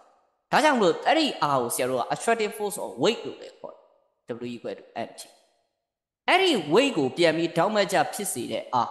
အဲ့ဒီအားကိုကြတော့ဆရာတို့ဘာလို့ခေါ်လဲဆိုတော့ normal force လို့ခေါ်ပါတယ် Fn ပေါ့နော် Fn ခေါ်ပါတယ်ကဲဒါဆိုလို့ရှိရင်ဆရာတို့က normal force ဆိုတာဒီတောက်မှတ်ကြအားလို့လည်းပြောတယ်တနည်းအားဖြင့်ဆရာတို့က weight force ကို reaction ပြန်ပေးတဲ့အားလို့လည်းပြောလို့ရတယ်ဒါဆိုရင် when the car move in the circular path which is inclined to the horizontal ဒီကားဟာဆိုလို့ရှိရင်ねစောက်ဝိုင်းပုံသဏ္ဍာန်လမ်းကြောင်းလျှောက်မှာလဲပတ်နေတယ်ဒီကားကြီးကဟိုဆရာတို့စောက်ဝိုင်းပုံသဏ္ဍာန်လမ်းကြောင်းလျှောက်မှာလဲပတ်နေတာနော်ကားကြီးကအဲ့လိုမျိုးဟိုအောက်ကြီးကိုဆင်းသွားမှာကိုပြောတာမဟုတ်ဘူးနော်စောက်ဝိုင်းပုံသဏ္ဍာန်လမ်းကြောင်းလျှောက်မှာလဲပတ်နေအဲ့လိုလဲပတ်နေမယ်ဆိုလို့ရှိရင် what is inclined to the horizontal ရေပြင်ညီမြင့်ဘာဖြစ်မလဲဆိုတော့အနှဲငယ်လေးစောင်းနေလိမ့်အဲ့လိုစောင်းတဲ့အခါမှာဆရာတို့ကဒီ reaction force ဟာဆိုလို့ရှိရင်နော်လမ်းရဲ့ reaction force ဟာဆိုလို့ရှိရင်ကားပေါ် normally တောင်းမှတ်ကြအားတက်ရောက်နေတယ်အဲ့လိုအခြေအနေမျိုးရောက်ပြီဆိုလို့ရှိရင် resolving this reaction force or normal force into two component တနည်းအားဖြင့်ဆရာတို့ grade 10တုန်းက resolution of vector into two perpendicular component အခုပြန်ပါလာပြန်ပြီနော်အဲ့တော့ဒီ component နှစ်ခုကြားမှာဒီ reaction r ကိုဖြည့်ရှင်းမယ်ဆိုလို့ရှိရင် horizontal component ဟာဆိုလို့ရှိရင် act toward the center of the cycle and help the car to move in the circular path or curve path ဆိုတော့ ဒီ horizontal component လေးရဆိုလို့ရှိရင်စက်ဝိုင်းရဲ့အလဲဘကိုတဲ့တဲ့ကိုပဲဘာဖြစ်နေမလဲဆိုတော့ဥတီနေမယ်ဥတီနေပြီးတော့တဲ့ဘယ်လိုများထပ်ဖြစ်အောင်မလဲဆိုတော့ဒီကားဒီစက်ဝိုင်းပုံစံလမ်းကြောင်းထဲမှာရွေးလျားဖို့အတွက်ကိုလည်းကူညီပေးပါလိမ့်မယ်ဒါကြောင့်မလို့ဆရာတို့က horizontal component of a normal force တောင်းမဲ့ကြအားရဲ့ရေပြင်ကြီးမြင်းပိုင်းဒီ centripetal force အဖြစ်အနေနဲ့ require လိုအပ်ပါလိမ့်မယ် အဲ့ဒါကကြတော့ဆရာတို့အနောက်မှာ banking of rope တင်လို့ရှင်ဆရာဒီဟာလေးကိုပြည့်ပြည့်စုံစုံလေးထပ်ထည့်ပြီးတော့ပြောသွားပါလောလောဆယ်တော့ဆရာတို့ဒီပုံလေးမှာကြည့်မယ်ဆိုလို့ရှိရင်ဒီကားလေးကဒါဒီဆရာတို့ဟို banking rope မှာသွားနေတဲ့ပုံလေးပေါ့အဲ့ဒီကျရင်ဆရာတို့က weight ကိုဒီလိုအောက်ကိုတဲ့လေးဆွဲလိုက်တယ်ဒါကကြတော့ဆရာတို့ဘာရှိမလဲဆိုတော့ weight ရှိအဲ့ဒီမှာမှာကားဆောင်းနေတယ်ကားကဆောင်းနေတယ်ဆိုလို့ရှိရင်ဆရာတို့သူ့ကိုဒီပေါ်မှာလည်းပဲမြင်းပိုင်းလေးတစ်ပိုင်းဆွဲမယ် ဒီမှာလည်းမြင်းပိုင်းလေးတစ်ပိုင်းဆွဲမယ်အဲ့လိုမျိုးမြင်းလေးတွေနဲ့ဆွဲပြီးတော့ဖော်ပြတဲ့အပိုင်းကိုဘာလို့ခေါ်လဲဆိုတော့ဆရာတို့ free body diagram လို့ခေါ်တယ်ဒါကိုလည်းပဲဆရာအနေနဲ့ထည့်သွင်းပြီးတော့အနောက်မှာပြောသွားပါအဲ့တော့နောက်ဆုံးအားလေးတစ်ခုကကြတော့ဘာလာမလဲဆိုတော့ outward threat lifting force on the plane outward threat ဆိုတဲ့ပင့်တင်အားဒီအရေးမှလာမကဆရာတို့လေမှလည်းပဲဖြစ်နိုင်ပါဟို grade 10မှာတော့ကျတော့ outward threat ဒီဆရာတို့ Archimedes principle နဲ့ ဒါသင်ခဲ့ရတယ်ပေါ့နော်အခုဒီမှာလေမှာလည်းပဲထုံနေတကောင်းပါပဲသူ့ကိုဆရာတို့က lifting force လို့သုံးဆိုတော့လေရင်တစည်းမောင်းနေတယ်စောင်းနေနည်းနည်းလေးစောင်းလာတယ်နော်ပုံလေးကိုနည်းနည်းလေးစောင်းလာတယ်ကဲဒါဆိုလို့ရှိရင် outward threat lifting force at normally on an aeroplane body ဒီတော့ဆရာတို့ပင့်တင်အားဟာဆိုလို့ရှိရင်နော်ပင့်တင်အားဟာဆိုလို့ရှိရင်လေရင်ကိုယ်တဲ့ပေါ့ဘာဖြစ်နေမလဲဆိုတော့ ထောက်မှတ်ကြအားတက်ရောက်နေပါလိမ့်မယ်အကယ်၍သာဆရာတို့ကဒီလေရင်လေးကစောင်းသွားမယ်ဆိုရင်ဒါကြောင့်မို့ once an aeroplane take လို့ပြောထားတယ်လေရင်လေးတွေဘာဖြစ်သွားမလဲဆိုတော့တိမ်းဆောင်းသွားမယ်ဆိုလို့ရှိရင် horizontal component act normally on the motion of an aeroplane ဒီလေရင်ရဲ့ရွေလျားမှုနဲ့ horizontal component တွေဘာဖြစ်သွားမလဲဆိုတော့ထောက်မှတ်ကြသွားလိမ့်မယ်ပြန်ပြီးတော့ပြောမယ်ဆရာတို့ horizontal component လို့ခေါ်တဲ့ဒီရေးပြီးမြင်းမိုင်းနဲ့နောက်တစ်ခါကျတော့ဒီ လေရင်မြန်ရဲ့ရွေလျားမှုอ่ะဆိုလို့ရှိရင် normally ဘာဖြစ်နေမလဲဆိုတော့ထောက်မှတ်ကြတယ်ဒီတစ်ချက်လေးပေါ့နော်ဆရာတို့ဒီမှာဆိုလို့ရှိရင်အနီရောင်လေးနဲ့ပြထားတာကဒီမှာပုံမှန်အောင်တန်းပြီးတော့ပါနေ mv square by r ဆိုတာဒီအဲ့ဒါဘာကြီးလဲဆိုတော့ centripetal force ကိုပြောတာတနည်းအားဖြင့်ဒါ horizontal component အဲ့တော့ဆရာတို့က motion ဆိုတဲ့ရွေလျားမှုတနည်းအားဖြင့်လေရင်ရဲ့ရွေလျားမှုနဲ့ကြတော့ဘာဖြစ်နေမလဲဆိုတော့ normal တောင်းမဲ့ကြဒါဟာဆိုလို့ရှိရင်ဆရာတို့ဒီ aeroplane လို့ခေါ်တဲ့လေယာဉ်ကို cap လို့ခေါ်တဲ့ဒါဘယ်လိုပြောမလဲစောင့်ဝိုင်းပုံစံလမ်းကြောင်းရှောင်မှာ သွားနိုင်မှုအတွက်အထောက်အကူပြုပါလိမ့်ဒါကြောင့်မလို့ဒါဒီဘာလို့ဆိုလိုတာလဲဆိုတော့ဒီလေယာဉ်ပေါ်မှာတက်ရောက်နေတဲ့တနည်းအားဖြင့် lifting force ရဲ့ horizontal component นี่ဘာကို provide လုပ်ပေးလဲဆိုတော့ centripetal force ကို provide လုပ်ပေးတယ်တနည်းအားဖြင့် behave ပြုမှုပေးတယ်လို့ပြောလို့ရတယ်။ကဲဒါဆိုလို့ရှိရင်ဆရာတို့နောက်ထပ်တစ်ခုမှဘာလာမလဲဆိုတော့ banking of roads လို့ခေါ်တဲ့လမ်းလေးတွေတိမ်ဆောင်းနေတဲ့အခါမှာသူတို့နဲ့သက်ဆိုင်တဲ့တောင်လေးတွေ နောက်တစ်ခုသူတို့နဲ့သက်ဆိုင်တဲ့ formula လေးတွေကိုဆရာတို့ဆက်လက်ပြီးတော့သွားပါမယ်အားလုံးပဲမင်္ဂလာပါအခုဆရာဆက်ပြီးတော့သွားပြီးမယ်အပိုင်းကဒါဆရာတို့အရှိမသင်ခဲ့တဲ့ဒီ centripetal force ဒီဆရာတို့ fraction နဲ့ဘယ်လိုများသက်ဆိုင်တယ်လဲနောက်တစ်ခုကကြတော့အခုဆရာတို့ဆက်ပြီးတော့သင်ရမှာက banking of road နော်အဲ့တော့ဆရာတို့ banking ဆိုတာကတနည်းအားဖြင့်လမ်းဆောင်တယ်တိန်းဆောင်တယ် တိန်းဆောင်တယ်ဆိုတော့ဆရာတို့လမ်းဆောင်ဖြစ်အောင်ပြုလုပ်ခြင်းလို့လည်းပြောလို့ရတယ်သို့မဟုတ်ကားလမ်းမကိုတိန်းဆောင်ထားခြင်းလို့လည်းပြောလို့ရတယ်။အဆရာကားလမ်းမကြီးကတိန်းဆောင်တယ်ဆိုတော့အဖြောင်ကြီးမဟုတ်ဘူးလားဆိုတော့တချို့သောနေရာတွေမှာကအတိန်းဆောင်လေးတွေရှိ။ဘာကြောင့်အဲ့လိုမျိုးအတိန်းဆောင်ကဖြစ်နေရတာလဲ။ဒါကလူတွေကပြုလုပ်ထားလားတွတ်သူတဘာဝအတိုင်းဖြစ်နေတာလားဆိုတာကိုလည်းဆရာတို့ဆက်လက်ပြီးတော့လေ့လာရမယ်ပေါ့နော်။အဲ့တော့ဆရာတို့အရှိမတော်ကလည်းဆရာတို့ဒီတင်ခဲ့တဲ့အပိုင်းကိုပြန်ပြီးတော့ ဖော်ပြပြီးတော့ယူမယ်ဆိုရင် one an automobile automobile ဆိုတာဒီတနည်းအားဖြင့်ဆရာတို့ရင်ပေါ့နော်ကားတစ်စီးအနေနဲ့ပဲပြောမယ်ပေါ့ကားတစ်စီးอ่ะဆိုလို့ရှိရင် drive around the curve လို့ပြောထားတယ် curve မြင်းကွေးတနည်းအားဖြင့် circular path စောက်ဝိုင်းပုံစံလမ်းကြောင်းလျှောက်သို့မဟုတ်လမ်းကွေးတစ်ခုမှာမောင်းနေနေမယ်ဆိုလို့ရှိရင်တဲ့ inman havers force အားတစ်ခုဘာဖြစ်ရမလဲဆိုတော့တက်ရောက်အောင်အဲ့ဒီအားဟာဆိုလို့ရှိရင် exact towards the center of the curve ဒီမြင်းခွေးရဲ့အလဲဘကိုတဲ့တဲ့ကိုပဲဘာဖြစ်နေလဲဆိုတော့ဥတည်နေလိမ့်မယ်တနည်းအားဖြင့်ဆရာတို့ဒီစောက်ဝိုင်းပုံတဲ့လမ်းကြောင်းတစ်လျှောက်မှာအဲ့ဒီကားကမောင်းနေနေတယ်ဆိုရင်အဲ့ဒီကားရဲ့အားဒီတက်ရောက်တဲ့အားဒီတနည်းအားဖြင့်ဘယ်ဘက်တက်ရောက်အောင်လဲဆိုတော့အဲ့ဒီစောက်ဝိုင်းရဲ့အလဲဘကိုတဲ့တဲ့ကိုပဲတက်ရောက်နေရထုံလေးတူစွာပဲ ဒီ cap ရဲ့အလဲဘကိုတဲ့တဲ့ကိုပဲဒီအားဒီဘာဖြစ်ရမလဲဆိုတော့တက်ရောက်ရလိမ့်မယ်ကဲဒါဆိုလို့ရှိရင်အဲ့မှာအခုဆရာတို့သင်ရမှာက banking road ပေါ့နော် banking angle အပိုင်းမှာသင်ရအဲ့တော့အရင်ဆုံးအနေနဲ့ပြောချင်တာကဆရာတို့လမ်းအဖြောင့်အတိုင်းလမ်းအဖြောင့်အတိုင်းတနည်းအားဖြင့် flat road လို့လည်းခေါ်တယ် embanked road လို့လည်းခေါ်တယ်လမ်းပြေပြူးနေရအဲ့လိုပေါ်မှာသာကားဒီမောင်းနေမယ်ဆိုလို့ရှိရင်အဲ့ဒီကားရဲ့ဘိန်းတာယာတွေနဲ့ နောက်တစ်ခါကျတော့အဲ့ဒီကားမောင်းနေတဲ့လမ်းရဲ့ကြားမှာဒီ freshen ရှိကိုရှိရ This flow is supplied by friction between the tiles and the road လို့ပြောထားတယ်။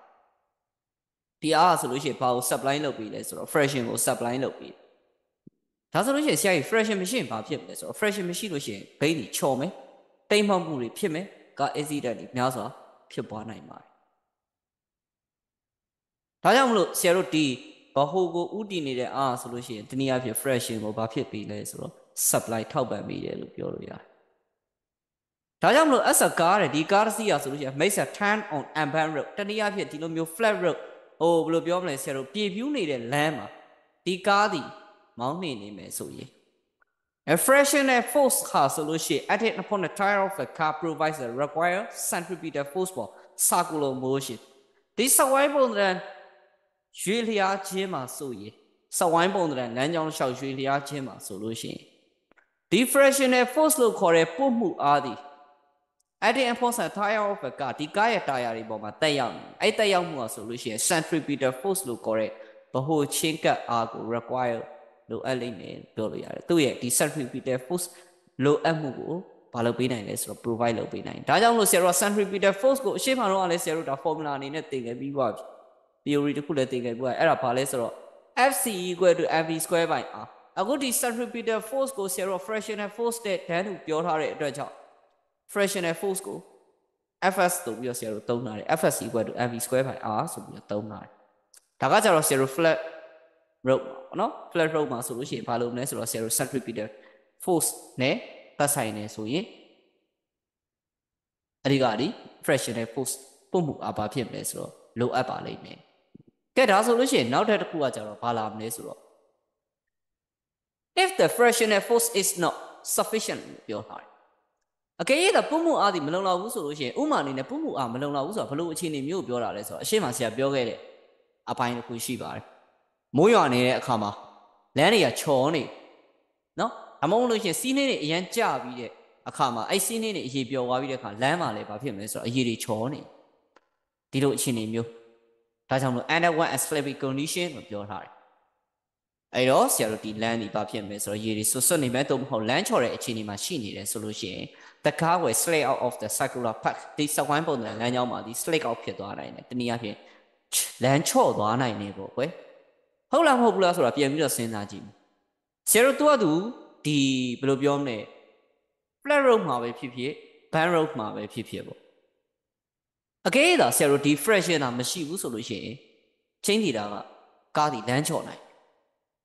အဲ့ဒီတော့ဒီမှာလည်းပဲသူကပြောထားတာက fractional force ဒီ sufficient မှမဖြစ်ဘူးဆိုလို့ရှိရင်လမ်းချော်နိုင်တဲ့အခြေအနေတွေဖြစ်ပေါ်နိုင်တယ်ဒါကြောင့်မလို့အဲ့ဒီအပိုင်းကိုတားဆီးပေးဖို့အတွက်ဆိုလို့ရှိရင်ဆရာတို့လမ်းကိုအနှဲငယ်ပါလို့ပေးဖို့လိုလဲဆိုတော့တိန်းဆောင်ပေးဖို့လိုတယ်ဒါဆိုလို့ရှိရင်သူကသူတိန်းဆောင်တာကလူလုံထားတဲ့အရာလို့ပြောလို့ရတယ်တဘာဝတိုင်းဖြစ်နေတာမဟုတ်ဘူးလူလုံထားတဲ့အရာလို့ပြောလို့ရဒါကြောင့်မလို့ to this to prevent this ဒီအပိုင်းကိုတားဆီးဖို့အတွက်ဒီအချင်းအရာကိုတားဆီးဖို့အတွက်ဆိုလို့ရှိရင်တော့ the road must be bent to provide the necessary centripetal force to the automobile so that they take a safe turn without sliding လို့ပြောထားတယ် skating ပေါ့နော်အဲဒီတော့ဆရာတို့ဒီချက်လက်ကိုတားဆီးဖို့အတွက်ဆိုလို့ရှိရင်လမ်းကိုဘာလုပ်ပေးထားရမလဲဆိုတော့တိမ်ဆောင်ပေးထားရမယ် must be bent must be bent ဆိုတော့ဘာလုပ်ပေးရမလဲဆိုတော့လုံးဝတိမ်ဆောင်ပေးရတယ် ဘာအတွက်ကြောင့်တိမ်ဆောင်ရမှာလဲဆိုတော့ to provide the necessary centripetal force to the automobile တနည်းအားဖြင့်ဒီရင်ဒီကားကို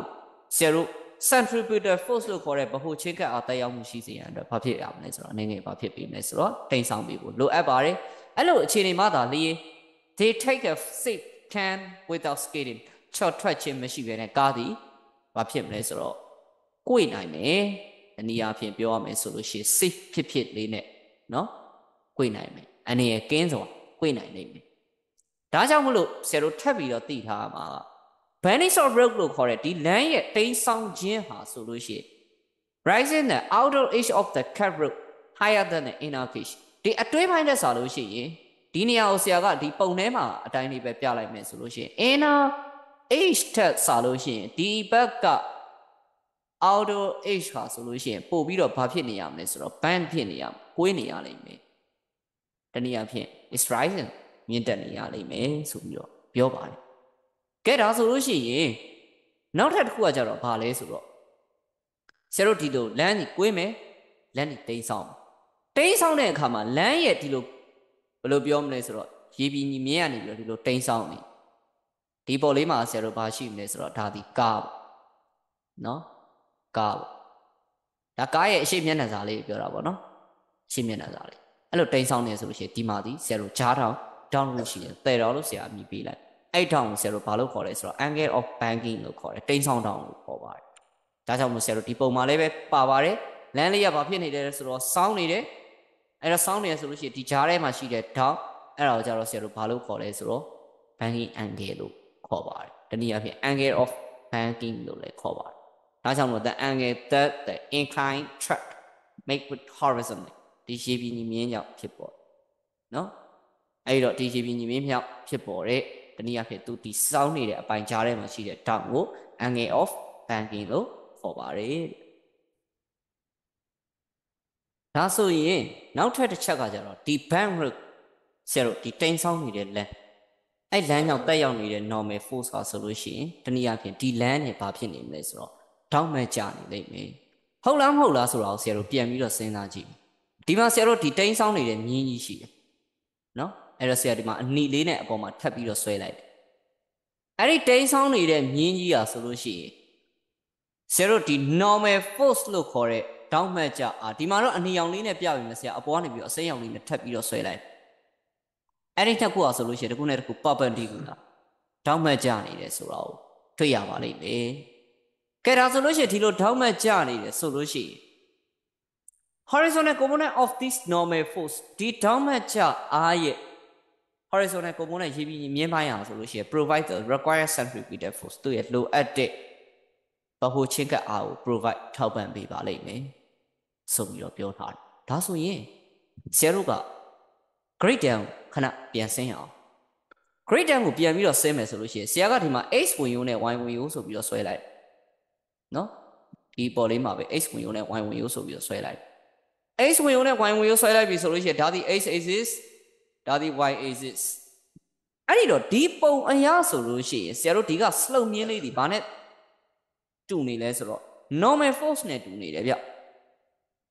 အဲ့တော့ဒါလေးရဆရာတို့ normal force နော် normal force လေးကဲဒါဆိုလို့ရှိရင်ဆရာတို့က perpendicular component ဆွဲပြီဆိုလို့ရှိရင် x axis ပေါ်ကိုတောင်းမဲ့ကြမြင်ပိုင်းဆွဲ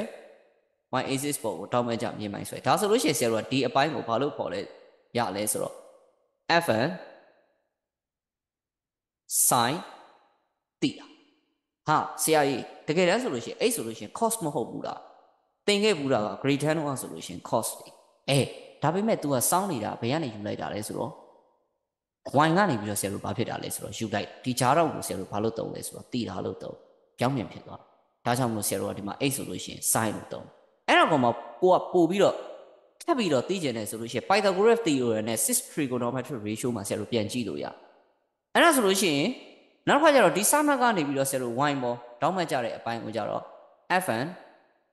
cos theta ဆိုပြီးတော့ယူတယ်ဒီ formula တွေဘာကြောင့်ဖြစ်ခဲ့လဲဆိုတော့ဆရာ chapter 1မှာလည်းသိနေပါတယ်နော်အဲ့ဒီတော့ဒီမှာလည်းပဲသူကပြောထားတာက normal force ရဲ့ horizontal component ဆိုလို့ရှိရင်တဲ့သူ့ရဲ့လိုအပ်တဲ့ centripetal force ကို provide လုပ်ပေးနိုင်ပါတယ်တဲ့ဒါကြောင့်မလို့ဆရာတို့ဒီ bank gap time bank gap time မှာဒီတနည်းအားဖြင့်ဆရာတို့ကိုွေးပြီးတိန်းဆောင်းနေတဲ့အပိုင်းတိုင်းမှာဆိုလို့ရှိရင် there is a limiting speed at which the anti-centripetal force is supplied by the horizontal component of a normal force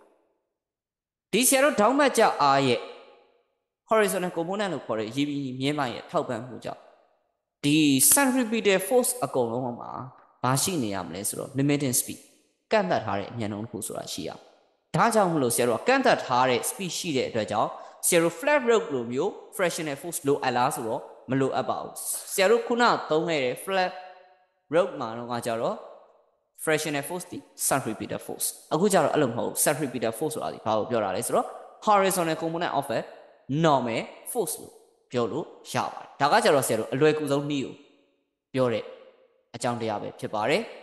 ကဲဒါဆိုလို့ရှိရင်ဆရာတို့ဒီအောက်လေးမှာပြန်ပြီးတော့ရေးပေးမယ်အဲ့ဒါကကြတော့ဘာလဲဆိုတော့ဆရာတို့ flat rope ပေါ့နော်အဲ့တော့မှရေးလိုက်တာ float ဖြစ်သွားတယ်အဲ့တော့ flat rope မှာဆိုလို့ရှိရင်တနည်းအားဖြင့် centripetal force ကို provide လုပ်ပေးတာကဘယ်သူက provide လုပ်ပေးတာလဲဆိုတော့ friction လို့ခေါ်တဲ့ put မှုအားက provide လုပ်ပေးတယ်ဒါပေမဲ့ဆရာတို့က bank rope မှာကကြတော့ဘာက provide လုပ်ပေးလဲဆိုတော့ centripetal force ကို horizontal components of normal force တနည်းအားဖြင့်ဆရာသူအတုတ်အောက်ရေးလိုက်မယ်ကွယ်နေရာမဆန့်ပါဆိုလို့ x component လို့ရေးလိုက်မယ် x component of normal force ဆိုတော့ fn ဆိုပြီးတော့ရေးလိုက်အဲ့နှစ်ခုကိုဆရာတို့ကကိုယ်ခွဲပြပြလေးဘာလို့သားရမလဲဆိုတော့တည်ထားပါလိမ့်ကဲဒါဆိုရင်ဆရာတို့သူ့ banking angle တနည်းအားဖြင့် angle of banking ပေါ့နော်တိန်းဆောင်တောင်းအတွက်ကိုဆရာတို့ formula လေးစတင်ပြီးတော့တထုတ်ခုနပုံလေးကိုဆရာတို့ဒီမှာပြန်ပြီးတော့ပြထားသည်ဆရာတို့ထားသည် perpendicular component အနေနဲ့ယူထားတယ်အဲ့တော့ perpendicular component အနေနဲ့ယူထားတော့ဆရာနည်းနည်းလေးဖြည့်ဆွက်ပြီးတော့ပြောခြင်းတယ်ဆရာတို့ဟိုအရှိရဗီဒီယိုမှာလည်းပြောခဲ့တယ်နော်။ဘာပြောခဲ့လဲဆိုတော့ free body diagram တခုလိုအပ်တယ်ဒီလိုအရာအတွက်ကိုဆွဲဖို့ဆိုရင်အဲ့ဒီတော့ ဒီကားဒီလမ်းမှာဒီလိုမျိုးဘာဖြစ်နေလဲဆိုတော့တိန်းဆောင်းနေတဲ့လမ်းပေါ်မှာဒီကားကမောင်းနေတာလမ်းဆောင်ကြီးမှာမောင်းနေတယ်လို့မှတ်အဲ့တော့ပုံဆွဲတာတော့နည်းနည်းတော့မသက်ရဒါကားရဲ့ခေါင်းခန်းလို့ခေါင်းပိုင်းလို့ပဲမှတ်လိုက်ပါနော်ဒါဆိုလို့ရှိရင်ဆရာတို့ကအဲ့ဒီ free body diagram ဆွဲမယ်ဆိုရင်အဲ့ဒီကားကိုဆရာတို့က point object တစ်ခုအနေနဲ့ယူရတယ်အစလေးတစ်ခုအနေနဲ့ယူရတယ်ဒါဆိုလို့ရှိရင်အဲ့ဒီကားပေါ်အရင်ဆုံး fluence ဖြစ်မှာ တနည်းအားဖြင့်လွှမ်းမိုးမှုရှိမှာတက်ရောက်မှုရှိနေမှာဒီဘာလို့ပြောလို့ရလဲဆိုတော့ gravitational force တနည်းအားဖြင့် attracting force gravity drag ဆွဲအားတက်ရောက်နေတယ် drag ဆွဲအားအမြဲတမ်း always downwards အောက်ကိုတဲ့ပဲကြောက်တနည်းအားဖြင့် weight w equal to mg လမ်းကဘာဖြစ်နေရလဲဆိုတော့ဆရာတို့ဒီလိုစောင်းနေတာနော်စောင်းနေတာဒီပုံလေးမှာလည်းပြထားရနော်စောင်းနေတာစောင်းနေတာကိုဆရာထည့်မပြောတော့စောင်းနေတာကိုထည့်မပြောဘဲနဲ့ normal အတွက်ကိုပြောမယ်ဆိုလို့ရှိရင် normal ကဒီလိုအပေါ်ကိုတဲ့ဆွဲလို့မရဘူး ဒီပုံလေးအတိုင်းတစ်စောင်းလေးဒီလိုဆွဲလို့ရအဲ့ဒါကြတော့ဆရာတို့ fn ကဲဟုတ်ပြီဒါဆိုလို့ရှိရင်ဆရာတို့အဲ့ဒီ fn အတွက် component တစ်ခုဆွဲမယ်ဆိုလို့ရှိရင်ဒါဒီ x component ဒါဒီ y component လို့ပြောလိုက်ရတယ်အဲ့တော့ x component မှာကျတော့ fn sin theta y component မှာကျတော့ fn cos theta အခုဆရာတို့မှာလေရင်းနဲ့ဆွဲလိုက်တဲ့ပုံကြီးကိုဘာလို့ခေါ်လဲဆိုတော့ free body diagram လို့ခေါ်ပါတယ်ဒါကကျတော့ဆရာတို့ဒီမှာအနည်းငယ် ဖြုတ်ထားတဲ့တင်ယုံတစ်ခုအနေနဲ့လို့တော့ပြောလို့ရတယ်ပေါ့နော်ထားပါတော့ကဲဒါဆိုလို့ရှိရင်ဒီဖြစ်စဉ်မှာဆိုလို့ရှိရင်တဲ့ horizontal component of a normal force ဒါမှကြအားရဲ့ရေပြင်ကြီးမြင်းပိုင်းကိုဆရာတို့က fn sin theta လို့ထားမယ်နောက်တစ်ခါကျတော့ toward the center of the cut of radial arc just equal to the centripetal force ဆိုလိုချင်တဲ့သဘောတရားကတော့ဘာလို့ပြောလိုက်လဲဆိုတော့ဒီ fn sin theta ကဆိုလို့ရှိရင် centripetal force နဲ့ညီတယ် mv square by r နဲ့ညီတယ် ဒါကြောင့်မလို့ fn sin theta equal to mv square by r ဒါကိုဆရာ equation 1လို့ထားလိုက်နောက်ထပ်တစ်ခုကကျတော့ဆရာတို့ဒါက horizontal အပိုင်းပြီးသွားပြီဆိုလို့ရှိရင် vertical အပိုင်းကိုစဉ်းစားမယ် vertical အပိုင်းမှာကကျတော့ဆရာတို့ဘာဖြစ်နေလဲဆိုတော့ y direction မှာဆိုလို့ရှိရင်အတရင်အသက်ရောက်မှုတွေမရှိဘူးတနည်းအားဖြင့် vertical motion မှာ vertical motion သာရှိလို့ရှိရင်ကားကြီးကမိုးပေါ်တက်သွားမှာပေါ့နော်နဲလေးစဉ်းစားကြည့်အဲ့တော့ vertical motion လုံးဝမရှိပါဘူး horizontal motion နဲ့ပဲဆရာတို့ကသွားမှာဒါကြောင့်မလို့ဆရာတို့ကကားဒီဟိုကောင်းကင်ဘုံပြန်သွားမှလည်းမဟုတ်ဘူး vertical motion လည်းရှိမှာမဟုတ်ဘူးဒါကြောင့်မလို့သူ့ပေါ်မှာတက်ရောက်တဲ့အတရင်အားဆိုတာလည်းမရှိဘူးဒါကြောင့်မလို့ y direction မှာသူ့ရဲ့အတရင်အားတက်ရောက်မှုဒီ net force ဒီ0လို့ပြောလို့ရတယ်ဒါကြောင့်မလို့ဆရာတို့အောက်ကကျတော့ mg ဖြစ်တယ်အပေါ်ကကျတော့ fn cos theta ဖြစ်တယ် direction တူလားဆိုတော့မတူဘူး ဒါကြောင့်မလို့ဆရာတို့ကဒီလိုမတူတဲ့ပုံစံမျိုးလေးနဲ့ယူလိုက်ဒါပေမဲ့ဒီနှစ်ခုပေါင်းခြင်းရဆိုရင်ဘာလို့ပြောလို့ရလဲဆိုတော့0လို့ပြောလို့ရတယ်တနည်းအားဖြင့် summation fy equal to 0အဲ့တော့ summation fy မှာဘာတွေပါလဲဆိုတော့ fn cos theta ပါမယ်အောက်က opposite direction အနေနဲ့ရှိတဲ့ mg ပါဒါပေမဲ့ direction မတူတဲ့အတွက်ကြောင့် minus ဆိုပြီးတော့ထည့်ထားတယ် equal to 0အဲ့တော့ minus mg တစ်ဖက်ပို့တော့ plus mg ပေါ့ဒါက equation 2 အဲ့တော့ equation 2နဲ့ equation 1ကိုဘာလုပ်မလဲဆိုတော့ ratio လို့အချိုးချအချိုးချမယ်ဆိုတော့ဒါမှမဟုတ်စားမယ်လို့ပြောလို့ရတယ်စားလိုက်မယ်ဆိုရင် fn sin theta ဘိုင် fn cos theta equal to mv square by r by mg ဆိုပြီးတော့ဖြစ်သွားအဲ့တော့ fn fn ကြည့်မယ် sin by cos ဒီဘာနဲ့အတူတူပဲလဲဆိုတော့ tan နဲ့အတူတူပဲအခုမှသင်ရတာမဟုတ်ဟို grade 10မှာလေးကသင်ရ tan တီတော့အဲ့တော့ဘာနဲ့ဘာနဲ့ကြည့်မလဲဆိုတော့ဆရာတို့ m နဲ့ m နဲ့ကြည့်သွားလိမ့်ဒါဆိုလို့ရှိရင် ဘယ်လိုပုံစံဖြစ်သွားမလဲဆိုတော့ tan တီတော့ equal to v square by rg ဆိုပြီးတော့ဖြစ်သွားတယ်ဒါကိုဆရာတို့ကဘာလို့ခေါ်လဲဆိုတော့ angles of bending လို့ခေါ်ပါတယ်တနည်းအားဖြင့်တိမ်ဆောင်တောင်းလို့ခေါ်ပါတယ်တိမ်ဆောင်တောင်းရဲ့ formula ကိုတွက်ထုတ်ခြင်းပဲဖြစ်ပါတယ်ဒါဆိုလို့ရှိရင်ဒီဘက်မှာနားလည်မယ်လို့ယုံကြည်ပါတယ်ဒါဆိုလို့ရှိရင်ဆရာတို့သူနဲ့သက်ဆိုင်တဲ့ example လေးတွေကိုစပြီးတော့သွားပါမယ်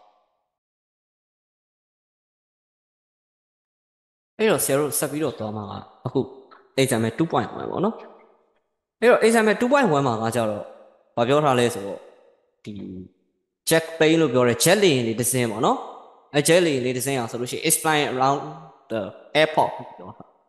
အဲ့တော့ဆရာတို့ဒီလေစိတ်ကနေပြီးတော့မှဘာဖြစ်မလဲဆိုတော့လေစိတ်ရဲ့ပတ်ပတ်လုံးမှာပြန်တန်းနေတယ်အဲ့တော့ပြန်တန်းနေတဲ့အခါမှာအဲ့ဒီ jack နေကသူကကျတို့ဒီမြင်နေကြအတိုင်း တစ်ဖြောင်းနေသွားတာမဟုတ်ပဲねသူဒီဘလို့သွားနေလဲဆိုတော့ along the circular path လို့ပြောထားတယ်စောက်ဝိုင်းပုံစံလမ်းကြောင်းလျှောက်ဘာဖြစ်နေလဲဆိုတော့လှည့်ပတ်တနည်းအားဖြင့်ကိုယ်ဝိုင်မောင်းနေမောင်းတဲ့အခါမှာဒီလေရဲ့မောင်းနေတဲ့အမြန်နှုန်းဒီ800 km per hour တဲ့ဒါဆိုရင်သူမောင်းတဲ့အမြန်နှုန်းကိုပေးထားတယ်နောက်တစ်ခုကကျတော့သူ့ရဲ့ဒီ circular path မှာဆိုလို့ရှိရင်တနည်းအားဖြင့်စဝိုင်းပုံစံလမ်းကြောင်းလျှောက်လှည့်ပတ်နေတဲ့အခါမှာ ဒီစဝိုင်းပုံစံလမ်းကြောင်းလျှောက်ကြောင့်ဖြစ်ပေါ်တယ်ဆိုလို့ရှိရင်သူ့ရဲ့ radius အချင်းဝက်တန်ဖို့ဆရာတို့ဘယ်လောက်လို့ပေးထားလဲဆိုတော့2 km လို့ပေးထားတယ်။ Okay ဒါဆိုလို့ရှိရင်ဆရာတို့ပေးချက်လေးတွေကိုအရင်ဆုံးစပြီးတော့ခြာရေးကြည့်။အဲ့တော့ speed ဆိုတဲ့အတွက်ကြောင့်ဆရာတို့ v တန်ဖို့ပေးထားတယ်။ v တန်ဖို့ကကျတော့ဘယ်လောက်လဲဆိုတော့800 km per hour ကီလိုမီတာပါဟောအတိုင်းဆရာတို့တွက်ဖို့တော့အဆင်မပြေ။ဘာကြောင့်လဲဆိုတော့ဆရာတို့ SI system သုံးအောင်မှာဖြစ်တဲ့အတွက်ကြောင့် ကီလိုမီတာပါဟောမီတာပါစက္ကန့်ပြောင်းမှာ။အဲ့တော့800ကီလိုမီတာကိုတီးပြီးတော့ဘယ်လောက်နဲ့စားမလဲဆိုတော့1 hour နဲ့စားတယ်။ကီလိုဆိုရင်ဘယ်လောက်ဖြစ်မလဲဆိုတော့10 power 3ပေါ့။တနည်းအားဖြင့်1000ပေါ့။ဆရာတို့1000လို့ထားလိုက်။အောက်မှာကကြတော့ဆရာတို့1 hour တနားကြီးမှဒီဘယ်လောက်စက္ကန့်ရှိလဲဆိုတော့3600စက္ကန့်ရှိတယ်ကဲဒါဆိုလို့ရှိရင်ဆရာတို့ကအပေါ်က3ညနှလုံးအောက်က3ညနှလုံးခြေလိုက် ခြေလိုက်မယ်ဆိုလို့ရှိရင်အပေါ်မှာဘယ်လောက်ဖြစ်သွားမလဲဆိုတော့8000ဖြစ်သွားအောက်မှာကျတော့ဆရာတို့ဘယ်လောက်ဖြစ်သွားမလဲဆိုတော့36ဖြစ်သွားဒါကြောင့်မလို့ဆရာတို့ကသူ့ကိုဘယ်လိုလုပ်မလဲဆိုတော့8000ကိုတီးပြီးတော့သူ့ကို36နဲ့စားလိုက်အဖြေက222.22ဆိုပြီးတော့ထွက်အဲ့တော့အဖြေက222.22နှစ်အထိပဲယူလို့ရတယ်နော်အရာကိန်း၄နေရဆိုလို့ရှိရင်ကဲဒါဆိုရင်အနောက်က unit ကိုတော့ဆရာတို့ပြန်ပြောင်းလိုက်ပြီ ဘာလို့ပြောင်းလိုက်ပြီလဲဆိုတော့ meter per second နောက်တစ်ခါကျတော့ radius လို့ပြောတဲ့အတွက်ကြောင့် r r တန်မို့ကကျတော့ဘယ်လောက်လဲဆိုတော့2 km အဲ့တော့2 km ဒါဆိုလို့ရှိရင်ဆရာတို့ကီလိုဆိုရင်10 power 3ဆိုတဲ့အတွက်ကြောင့်ဆရာ2000မီတာဆိုပြီးတော့တန်းပြောင်းလိုက်သူကဆရာတို့ကိုမေးထားတာကဘာမေးထားလဲဆိုတော့ at what angle နည်းအားဖြင့်တောင်းကဘယ်လောက်တောင်းများရှိမလဲ must the wing of the plane be banked လို့ပြောထားတယ်တနည်းအားဖြင့် ဒီလေရင်လေးတိမ်ဆောင်းနေတဲ့အခါမှာတိမ်ဆောင်းတဲ့ down တန်ဖို့သူဒီဘာဖြစ်ထားလဲဆိုတော့မေးထားတယ်တနည်းအားဖြင့် banking angle ကိုမေးထားတယ်အဲ့တော့ဆရာကသူ့ရဲ့ဒီ exponent ကိုပြန်ပြီးတော့ဆွဲတဲ့အခါမှာဒီ free body diagram လေးပြန်ဆွဲလိုက်မယ်ပေါ့နော်အဲ့တော့ free body diagram လေးဆွဲလိုက်တဲ့အခါမှာဒီလိုပုံလေးဖြစ်နေမယ်အဲ့တော့ဒီလိုပုံလေးဖြစ်နေဆိုတော့ဆရာတို့ကဒီမှာဒီဒါက x ဝင်ယူဒါကကြတော့ဆရာတို့ y ဝင်ယူဒါကကြတော့ဆရာတို့က weight w equal to mg နဲ့ပေးထားတယ်ဒါဆိုလို့ရှိရင်ဘန်းစင်း angle ကို तू ကဒီမှာသုံးထားတာကဘယ်ကနေသုံးမလဲဆိုတော့ y ကနေပြီးတော့ညှိုးထားတယ်ညှိုးနှောင်းတစ်ခုအနေနဲ့တဲ့တော့ဆိုပြီးတော့သုံးထားတယ်ဒါကကြတော့ဆရာတို့တနည်းအားဖြင့် lifting force or normal force ဒီမှာတော့ဆရာတို့က lifting force လို့ပဲသုံးပါပေါ့နော်ဒီသူပြန်နေတဲ့အပေါ်ပေးထားတဲ့ outward force တွေဖြစ်တယ်ဒါပေမဲ့ဆရာတို့ကအရှိမသိငယ်ပြီးသွားပြီ banking angle ကိုတန်းပြီးတော့တွက်လို့ရတဲ့ formula ရှိတယ်အဲ့ဒါကကြတော့ဘာလဲဆိုတော့ tan ပြီးတော့ equal to v square by rg နဲ့ဆရာတို့တွက်လို့ရ ဒါကြောင့်မို့ဆရာတို့သူ့ကို tan ပြီးတော့တွက်တော့ okay tan မတွက်ဘူးဆိုလို့ရဆရာတို့ formula derivation တော့လုပ်ပြရအောင်ပေါ့နော်ဒါပေမဲ့ဆရာတို့ formula သိထားတဲ့အတွက်ကြောင့် tan ပြီးတော့တွက်လို့ရတယ်အဲ့ဒါကကြတော့ဘာလဲဆိုတော့ tan တယ်တော့ equal to v square by rg ဆိုတော့ကဆရာတို့ဒီဘက်မှာ tan သီတာ equal to v tan ကကြတော့2 22.22 the whole square by အာတန်ကကြတော့ဘယ်လောက်လဲဆိုလို့ရှိရင်2000 into 9.8 9.8နဲ့မတွက်ဘဲနဲ့ဆရာတို့10နဲ့တွက်မယ်ဆိုလို့ရှိရင်လည်းရတယ်နော်ဒါပေမဲ့ဆရာတို့9.8နဲ့ပဲဒီမှာတွက်လိုက်ပါကဲဒါဆိုလို့ရှိရင်ဆရာတို့222.22ကိုနှစ်ခါမြောက်လိုက်ဒါဆိုလို့ရှိရင်အဖြေကဘယ်လောက်ရမလဲဆိုတော့သူဒီဒီမှာက၄ကို381 ဓမ္မ984ဆိုပြီးတော့ရအဲ့တော့ဆရာက၄ကို382အဲ့တော့၄ကို382ဆိုတာလေးခဏလေးမှတ်ထားအောက်မှာကျတော့ဆရာတို့ဘာလုပ်ရမလဲဆိုတော့သူ့ကိုဒီမှာဆရာတို့2000နဲ့ဘယ်လောက်နဲ့မြှောက်အောင်ပါလဲဆိုတော့9.8နဲ့မြှောက်အောင်ဒါဆိုရှင်းလိုက်မယ်ဆိုလို့ရှိရင်19600နဲ့600အဲ့တော့19600ရဲ့ခုနကကျတော့4 9 3 8နှစ် အစာ19600ရှင်းလိုက်မယ်ဆိုလို့ရှိရင်2.5194ဆိုပြီးတော့ရတယ်အဲ့ဒါကိုဆရာတို့ကဘာပြကြည့်မှလဲဆိုတော့ဒီကတဲ့တော်ကိုလိုချင်တာဖြစ်တဲ့အတွက်ကြောင့်တန်းဒီတစ်ဖက်တက်မယ်ဆိုလို့ရှိရင်ပါတန်းတနည်းအားဖြင့်အတန်းလို့ခေါ်တယ်ပေါ့နော်အဲ့တော့ဆရာသူ့ကိုဒီမှာ inverse နှိပ်လိုက်မယ် inverse နှိပ်ပြီးပြီဆိုတာနဲ့သူ့ကိုတစ်ခါတည်းဒီကနေပြီးတော့ပါတန်းဆိုပြီးတော့တန်းယူလိုက်တဲ့အခါမှာ68.35ဆိုပြီးတော့ရလာလိမ့်အဲဒီတော့သီတာ equal to 68တက်သမ35 degree ဆိုပြီးတော့ထွက်လာဒါဆိုလို့ရှိရင်ဆရာတို့ဒီကစောင်းထောင်းတန်မှုကိုရရှိမှာပဲဖြစ်ပါတယ်အဲ့တော့ဆရာတို့ဒီလိုပုတ်ဆောင်မျိုးမှာဆိုလို့ရှိရင်သူ့ကိုလောကြည့်မယ်ဆိုလို့ရှိရင်ဆရာတို့သူ့ကိုဘယ်လိုလောကြည့်ကြမလဲပေါ့နော်အဓိကအားလေးကိုဆရာဒီမှာဒီတပုတ်မှာအနှဲငယ်လေးပြောခြင်းတယ်အဲ့ဒီတော့ဆရာတို့ဒီမှာကအဓိကအဖြစ် ဒီကဏန်းတွေကိုတော့ဆရာတို့လောကြည့်တာထက်ဆလို့ရှိရင် calculator သုံးတာပို့ပြီးတော့အဆင်ပြေတယ်ဒါပေမဲ့ calculator အဆင်မပြေတဲ့နေရာမျိုးတွေမှာဆိုလို့ရှိရင်ဆရာတို့သူ့ကို log ဘယ်လိုကြည့်ကြမလဲပေါ့အဲ့တော့ log ဘယ်လိုကြည့်ကြမလဲဆိုတော့ဆရာဒီမှာဒီ number log ဆိုပြီးတော့အရင်ဆုံးဆွဲလိုက်ဆွဲပြီးတော့222တန်းမှာနှစ်နှစ်ဆိုတော့ဆရာတို့ကအရာရာပဲက၄လုံးပဲကြည့်လို့ရတယ်လေဟုတ်တယ်မလား အဲ့ဒီတော့ဒီမှာ3လုံးဆိုတဲ့အတွက်ကြောင့်ဆရာဘလောက် point လို့ယူလိုက်မယ်ဆိုတော့2 point ဆိုပြီးယူလိုက်22ရဲ့နှစ်ကိုကြည့်ပြီးနှစ်ကအဖြေနဲ့ပေါင်းမယ်လောကြည့်ရမယ်ဟာကဲဒါဆိုလို့ရှိရင်ဆရာအရင်ဆုံးဒီမှာ logarithm ကိုသုံးမယ်အဲ့တော့ logarithm ကိုသုံးမယ်ဆိုလို့ရှိရင်ဒီမှာကပထမအဆုံးအနေနဲ့22ရဲ့နှစ်ကိုကြည့်မယ်နော်22ရဲ့နှစ်ကိုကြည့်ပြီးတော့နှစ်ကအဖြေနဲ့ပေါင်းနှစ်ကအဖြေက4ဒါကြောင့်မလို့ဆရာတို့ဘယ်လောက်ဖြစ်သွားမလဲဆိုတော့ 3468ဆိုပြီးတော့ဖြစ်သွားပြီအဲ့တော့ဆရာဒီမှာထည့်လိုက်3468နှစ်ထပ်ဖြစ်တဲ့အတွက်ကြောင့်နှစ်နဲ့မြှောက်လိုက်လေရတယ်ဒါမှမဟုတ်လို့ရှိရင်ဆရာသူ့ကိုလည်းပဲနှစ်ထပ်မှာ3460ဆိုပြီးတော့ယူလိုက်ကြဒါဆိုလို့ရှိရင်အဲ့ဒါကြတော့ဆရာတို့ကတနည်းအားဖြင့်နှစ်ထပ်တင်တာဆိုတော့ဒီကောင်မြောက်တာပေါ့နော်မြောက်တာဆိုတဲ့အတွက်ကြောင့်ပေါင်းမယ်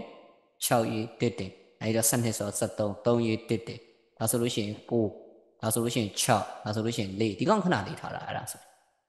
နောက်ထပ်တစ်ခုကိုဆရာတို့ထပ်ပြီးတော့ပြောမယ်ဆိုလို့ရှိရင်2000အဲ့တော့သူ့ကိုဆရာတို့2000အဲ့တော့လေးလုံးဆိုတဲ့အတွက်ကြောင့်3 point ဒါဆိုရင်2000ဆိုတဲ့အတွက်ကြောင့်ဆရာတို့ကဘယ်လောက်ကိုကြည့်မလဲဆိုတော့20ကိုပဲကြည့်ရမှာ20ရဲ့3ညောက်ကြည့်တော့30 30ဆိုပြီးတော့ရအဲ့တော့ဆရာတို့က9.8ဒါဆိုလို့ရှိရင် 0.98ကိုဆရာတို့ကကြည့်ရတော့အဲ့တော့ logarithm 98ရဲ့0ကိုသွားကြည့်98ရဲ့0ကြည့်မယ်ဆိုရင်9912ကိုရတယ်ကဲဒီမှာ9912ဆိုပြီးတော့ထည့်အဲ့နောက်ကလည်းမြောက်ထားဆိုတဲ့အတွက်ကြောင့်ပေါင်းမယ်2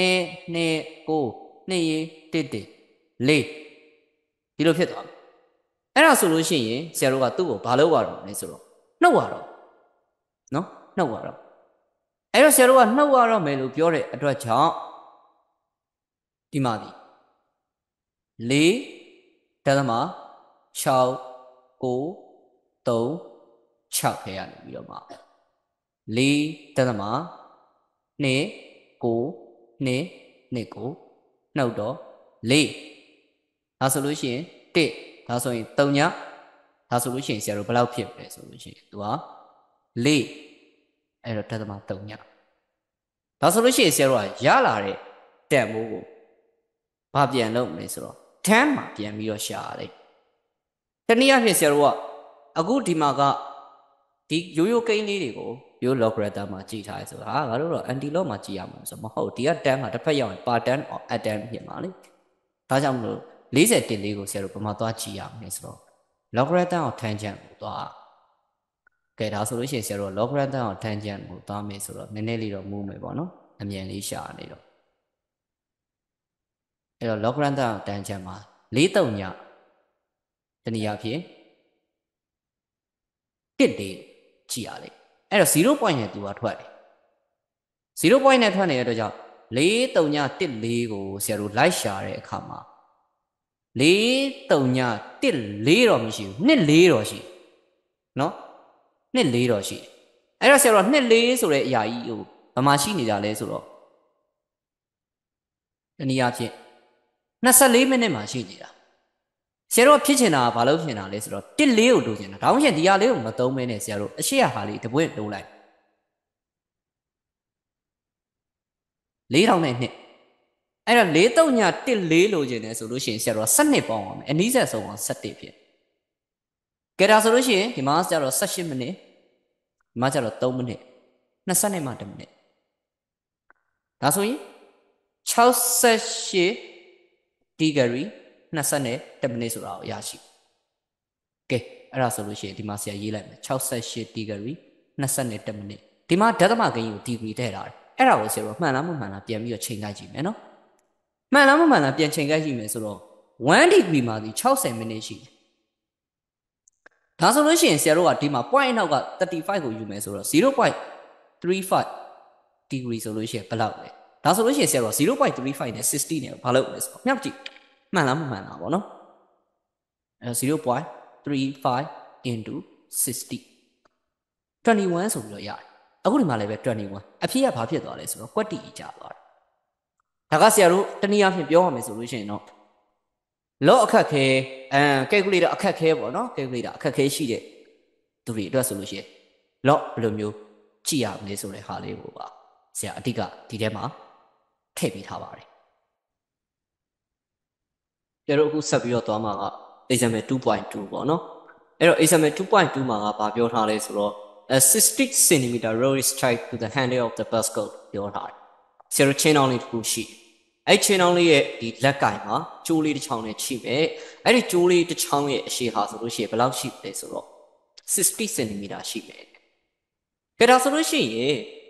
အဲ့ဒီ ကျိုးလေးနဲ့ဒီရေဖို့ဟိုဘယ်လိုပြောမလဲချင်းအောင်ရဲ့လက်ကင်ကိုချိပြီးတော့သူ့ဒီဘာလုပ်လဲဆိုလှဲ့လှဲ့တဲ့အခါမှာဘယ်လိုလှဲ့တာလဲဆိုတော့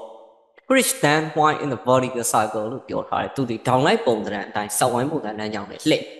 လှဲ့တဲ့အခါမှာဒီချင်းလေးရဲ့ mass ဟာဆိုလို့ရှိရင်ဘယ်လောက်ရှိမလဲဆိုတော့3 kg ဖြစ်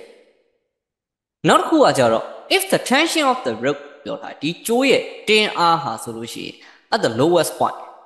တနည်းအားဖြင့်ဒီအောက်ဆုံးအမှတ်ကိုရောက်သွားတဲ့အခါမှာဒီပုံမှာလေးပြထားရဲပေါ့နော်အောက်ဆုံးအမှတ်ကိုရောက်သွားတဲ့အခါမှာကျိုးရဲ့ tension ဒီ50 newton ဖြစ်မယ်ဆိုလို့ရှိရင်အဲ့ဒီအမှတ်မှာရှိနေတဲ့ဒီကျိုးရဲ့ speed တနည်းအားဖြင့်ဒီ basket ရဲ့ speed ပေါ့နော်ကျိုးကြောင့်ဖြစ်ပေါ်တဲ့ basket ရဲ့ speed ဒီဘယ်လောက်ဖြစ်မလဲဆိုပြီးတော့ဆရာတို့ကိုမေးထားတယ်အဲ့ဒီမှာဆရာတို့ကအရင်ဆုံးသူ့ကို free body diagram တစ်ခုဆွဲပြဒီမှာကဆရာတို့ရေပုံးလေးဒီအစိမ်းအောင်အမှတ်လေးရရေပုံးလေးရေပုံးမှာဒီသူ့ရဲ့ mass ရှိတဲ့အတွက်ကြောင့်သူ့မှာဒီ weight ရှိ w equal to mg ဒါဆိုလို့ရှိရင်သူ့ရဲ့ကြိုးတင်းအားဟာဆိုလို့ရှိရင်နည်းမလားများမလားဆိုတော့ပြန်ပြီးတော့စဉ်းစားကြည့်အဲ့တော့ဆရာတို့ကဒီမှာအကျမ်းမှာစဉ်းစားလိုက်မယ်ကွာ w equal to mg ဆိုလို့ရှိရင် m တန်မိုးကပေးထားတာက3 g တန်မိုးကိုဆရာတို့က10နဲ့တွက်မယ်ဆိုလို့ရှိရင်လည်းရတယ်9.8နဲ့တွက်မယ်ဆိုလို့ရှိရင်လည်းရတယ်အဲ့တော့ဆရာတို့က9.8နဲ့တွက်မယ်ဆိုလို့ရှိရင်အဲ့တော့4နှစ်ဆိုတော့ကို3လေးဆို20နဲ့ခွန်ဆို29 29.4 newton ရှိ ကျိုးရဲ့တင်းအားဒီဘယ်လောက်ရှိမလဲဆိုတော့50 newton ရှိမယ်သူ့ရဲ့ tension ကျိုးရဲ့တင်းအားဘာဖြစ်နေမှာမရလဲဆိုတော့များနေမှာရအကယ်၍ဒါကျိုးရဲ့တင်းအားနည်းနေမယ်ဆိုလို့ရှိရင်ဘာဖြစ်သွားနိုင်လဲဒီအလေးချိန်ကများပြီးတော့ကျိုးရဲ့တင်းအားနည်းမယ်ဆိုလို့ရှိရင်သူဒီအောက်ကိုပြုတ်ကျသွားနိုင်တယ်လို့ပြောလို့ရတယ်တနည်းအားဖြင့်ကျိုးပြတ်သွားနိုင်တယ်ပြောလို့ရတယ်ပေါ့နော်ဒါဆိုရင်အဲ့ဒီတင်းအားဒီဘယ်နေရာကနေပြီးတော့ဖြစ်ပေါ်မှာလဲဆိုတော့စောက်ဝိုင်းပုံတဲ့လမ်းကြောင်းလို့ရှောက်ပါဆိုလို့ရှိရင်ဒီအလယ်မှတ်ကနေတနည်းအားဖြင့် center of site ပဲကနေစပြီးတော့ဖြစ်တယ်ပြောလို့ရတယ်ကဲဒါဆိုရင်ဆရာတို့ကိုပေးထားတာဟာ ဘာတန်မိုးပေးထားလဲဆိုရင်အာတန်မိုးပေးထားတယ်ပြောလို့ရတယ်60 cm အဲ့တော့ centimeter နဲ့ meter ပြောလို့ရှိရင်10 power -2 ဆိုတော့ဆရာ6 into 10 power -1 လို့ရေးလိုက် meter နောက်တစ်ခါကျတော့ရေပုံးရဲ့ mass mass တန်ဖိုးကဘယ်လောက်လဲဆိုတော့3 kg mass ပေးထားရင်ဆရာတို့ဘာရှာလို့ရလဲဆိုတော့ weight ရှာလို့ရတယ် w equal to mg အဲ့တော့ m တန်ဖိုးကဘယ်လောက်လဲဆိုလို့ရှိရင်3 g တန်ဖိုးကိုကျတော့ဆရာတို့9.8နဲ့တွက်တော့ဒါအကျဲမှာလည်းတွက်ခဲ့ပြီးပါပြီဘယ်လောက်ရလဲဆိုတော့29.4 newton ရနောက်တစ်ခါကျတော့ကျိုးရဲ့တင်းအား tension ဒီဘယ်လောက်လို့ပြောလဲဆိုတော့50 newton လို့ဖြစ်မယ်ပြောမယ်ဆိုရင်မေးထားတာကအဲ့ဒီအမှတ်မှာရှိနေတဲ့ရေပုံးရဲ့ဒီတနည်းအားဖြင့်ချင်းနှောင်းရဲ့ပေါ့နော်ဒီချင်းနှောင်းရဲ့အမြန်နှုံးကဘယ်လောက်ဖြစ်မလဲဆိုပြီးတော့မေးထားတယ်တနည်းအားဖြင့်ဆရာတို့ကို V မေးထားပါတယ်အဲ့ဒီမှာတစ်ချက်စဉ်းစား ဆရာတို့ဒီချင်းနှောင်းပေါ်မှာတက်ရောက်နေတဲ့အတရင်အားသိလားဆိုတော့မသိအဲ့တော့ဆရာတို့ဒီအတရင်အားဟာဆိုလို့ရှိရင်တနည်းအားဖြင့် centripetal acceleration လို့ခေါ်တဲ့ဗဟုချင်းကပ်အရှိန်ကိုဖြစ်ပေါ်စေတယ်လို့ပြောလို့ရတယ်ဒါဟာဆိုလို့ရှိရင်ဆရာတို့အခုမှသင်ရတာမဟုတ်ဒါဒီ grade 10မှာတည်းကဆရာတို့ကဒီအတရင်အားတွေအကြောင်းသင်ရတယ်ဒီမှာကျတော့ဆရာတို့အတရင်အားဒီသူ့ရဲ့ direction တူလားဆိုတော့ tension နဲ့ weight ဒီ direction မတူဒါဆိုလို့ရှိရင်ဆရာတို့ကများတာတည်းကနဲတာနှုတ်အရင်ဆုံးအဲ့တော့ f9 equal to tension minus weight ဒါဆိုလို့ရှိရင်ဆရာတို့က tension ဒီ50ရှိတယ် weight ကကြတော့29.4ရှိအဲ့တော့ဆရာတို့သူ့ကိုတန်းပြီးတော့နှုတ်လိုက်လို့ရတယ်နောက်တစ်ခါကျတော့ net force ဒီဘာနဲ့အတူတူပဲလဲဆိုတော့ဆရာတို့ centripetal force နဲ့အတူတူပဲလို့ပြောလို့ရတယ်ဒါကြောင့်မို့ဆရာဒီလိုမျိုးတန်းပြီးတော့ပြောင်းလိုက်အဲ့တော့ centripetal force ရဲ့ formula က mv square by r ဒါဆိုလို့ရှိရင် t minus w ဒီလိုဖြစ်သွားအဲ့ဒါကိုမှဆရာတို့ကသူ့ကိုကိန်းကနန်းအစာသွင်းပြီးကိန်းကနန်းအစာသွင်းပြီးဆိုလို့ရှိရင်ဆရာတို့ mass တန်မှု mass တန်မှုကကြတော့ဆရာတို့ဘယ်လောက်ရှိမလဲဆိုတော့ဒီမှာဒီ3လို့ပေးထားတယ် b square ရရှာ r ကြတော့ဘယ်လောက်လဲဆိုတော့6 into 10 power minus 1 equal ဒီမှာဆိုလို့ရှိရင် t တန်မှုကကြတော့ဘယ်လောက်လဲဆိုတော့50 minus နောက်တစ်ခုကကြတော့ဒီမှာဆိုလို့ရှိရင်0 w ကကြတော့29.4ဒါဆိုရင်ဒီဟာလေးကိုဆရာတို့ခြေလိုက်လို့ရပါတယ်3တက်လီ3 3နှစ်လီအဲ့တော့2 into 10 power minus 1ဆိုတော့0.2အဲ့ဒါဆိုရင်ဆရာတစ်ဆင့်နဲ့သူ့ကိုရှင်းတော့မယ်တစ်ဆင့်နဲ့ရှင်းမယ်ဆိုတော့50 minus 29.4ရှင်းလိုက်ရော13.6ဆိုပြီးတော့ရတယ်အဲ့13.6ကိုဘယ်လောက်နဲ့မြှောက်မလဲဆိုတော့ဒီကလာမယ်0.2နဲ့မြှောက်လိုက် မြှောက်လိုက်တဲ့အခါမှာဆရာတို့4.12ဆိုပြီးတော့ရ4.12ကို square ပြောက်ချင်တဲ့အတွက်ကြောင့်ဆရာတို့ root ကြည့်တဲ့အခါမှာဘယ်လောက်ရမလဲဆိုတော့2.029ဆိုတော့2.03ဆိုပြီးဆရာတို့တိုင်းဒါကြောင့်မို့ဆရာတို့အခုထွက်လာတဲ့ v တန်မို့ဒီဘယ်လောက်လို့ပြောလို့ရတယ်လဲဆိုလို့ရှိရင်2.03 meter per second ဆိုပြီးတော့ထွက်လာဒါဆိုလို့ရှိရင်ဆရာတို့ example 2.2ကဒီမှာနေပြီးဆုံးသွားပါတယ် နောက်တစ်ပုဒ်ကကြတော့ဆရာတို့ review exercise number 1လာပါပြီပေါ့နော်အဲ့တော့ review exercise number 1မှာကြတော့ where is the banging angle for the express weight of run cap of radius 50 meter at the limited speed of 50 km per hour အဲ့တော့ဆရာတို့ကအမြန်နှုန်း90 km per hour သတ်မှတ်ထားတဲ့ဒီအမြန်လမ်းတစ်ခုပေါ့နော် express way လို့ခေါ်တဲ့အမြန်လမ်းတစ်ခုမှာတဲ့သူဒီအခြေဝက်ကဘယ်လောက်ရှိလဲဆိုတော့90မီတာရှိတဲ့လမ်းကွေ့တွေခု cap ဆိုတော့ off road cap ဆိုတော့လမ်းကွေ့တွေတစ်ခုမှာဘယ်လောက်များတိမ်ဆောင်ရမလဲတနည်းအားဖြင့်ဘယ်လောက်ဒီဒီတောင်းနေများတိမ်ဆောင်ထားရမလဲဆိုပြီးတော့ဆရာတို့မေးတယ်အဲ့တော့မေးတဲ့အခါမှာဆရာတို့ကိုဒီမှာပေးထားတာကဘာတန်မိုးတွေပေးထားလဲဆိုတော့ radius r တန်မိုးပေးထားတယ်နောက်တစ်ခါကျတော့ limited speed v တန်မိုးကကျတော့50 km per hour ဆိုပြီးပေးထားတယ်ကဲဒါဆိုရင်ဆရာတို့ r တန်မိုးဒီဘယ်လောက်လဲဆိုတော့50 meter နောက်တစ်ခု b တန်မိုးကိုသူကပေးထားတာကဘယ်လောက်နဲ့ပေးထားလဲဆိုလို့ရှိရင်50 km per hour ဒါမဲ့ဆရာတို့ km per hour နဲ့တွက်လို့မရဘူးဘာပြောင်းပေးရမလဲဆိုတော့ meter per second ပြောင်းပေးရဒါကြောင့်မလို့50 km ကိုတီ1 hour နဲ့စားတယ်အဲ့တော့50 into ကီလိုဆိုတော့1000ပေါ့အောက်မှာကကြတော့ဆရာဘယ်လောက်လဲဆိုတော့တနာရီဆိုလို့ရှိရင်3600နဲ့မှာစက္ကန့် ဒါဆိုလို့ရှိရင်အပေါ်က3ညနှလုံးအောက်က3ညနှလုံးခြေလိုက်ခြေလိုက်ပြီဆိုလို့ရှိရင်ဆရာတို့အပေါ်မှာဘယ်လောက်ရှိမလဲဆိုတော့90 900နော်အပေါ်မှာ900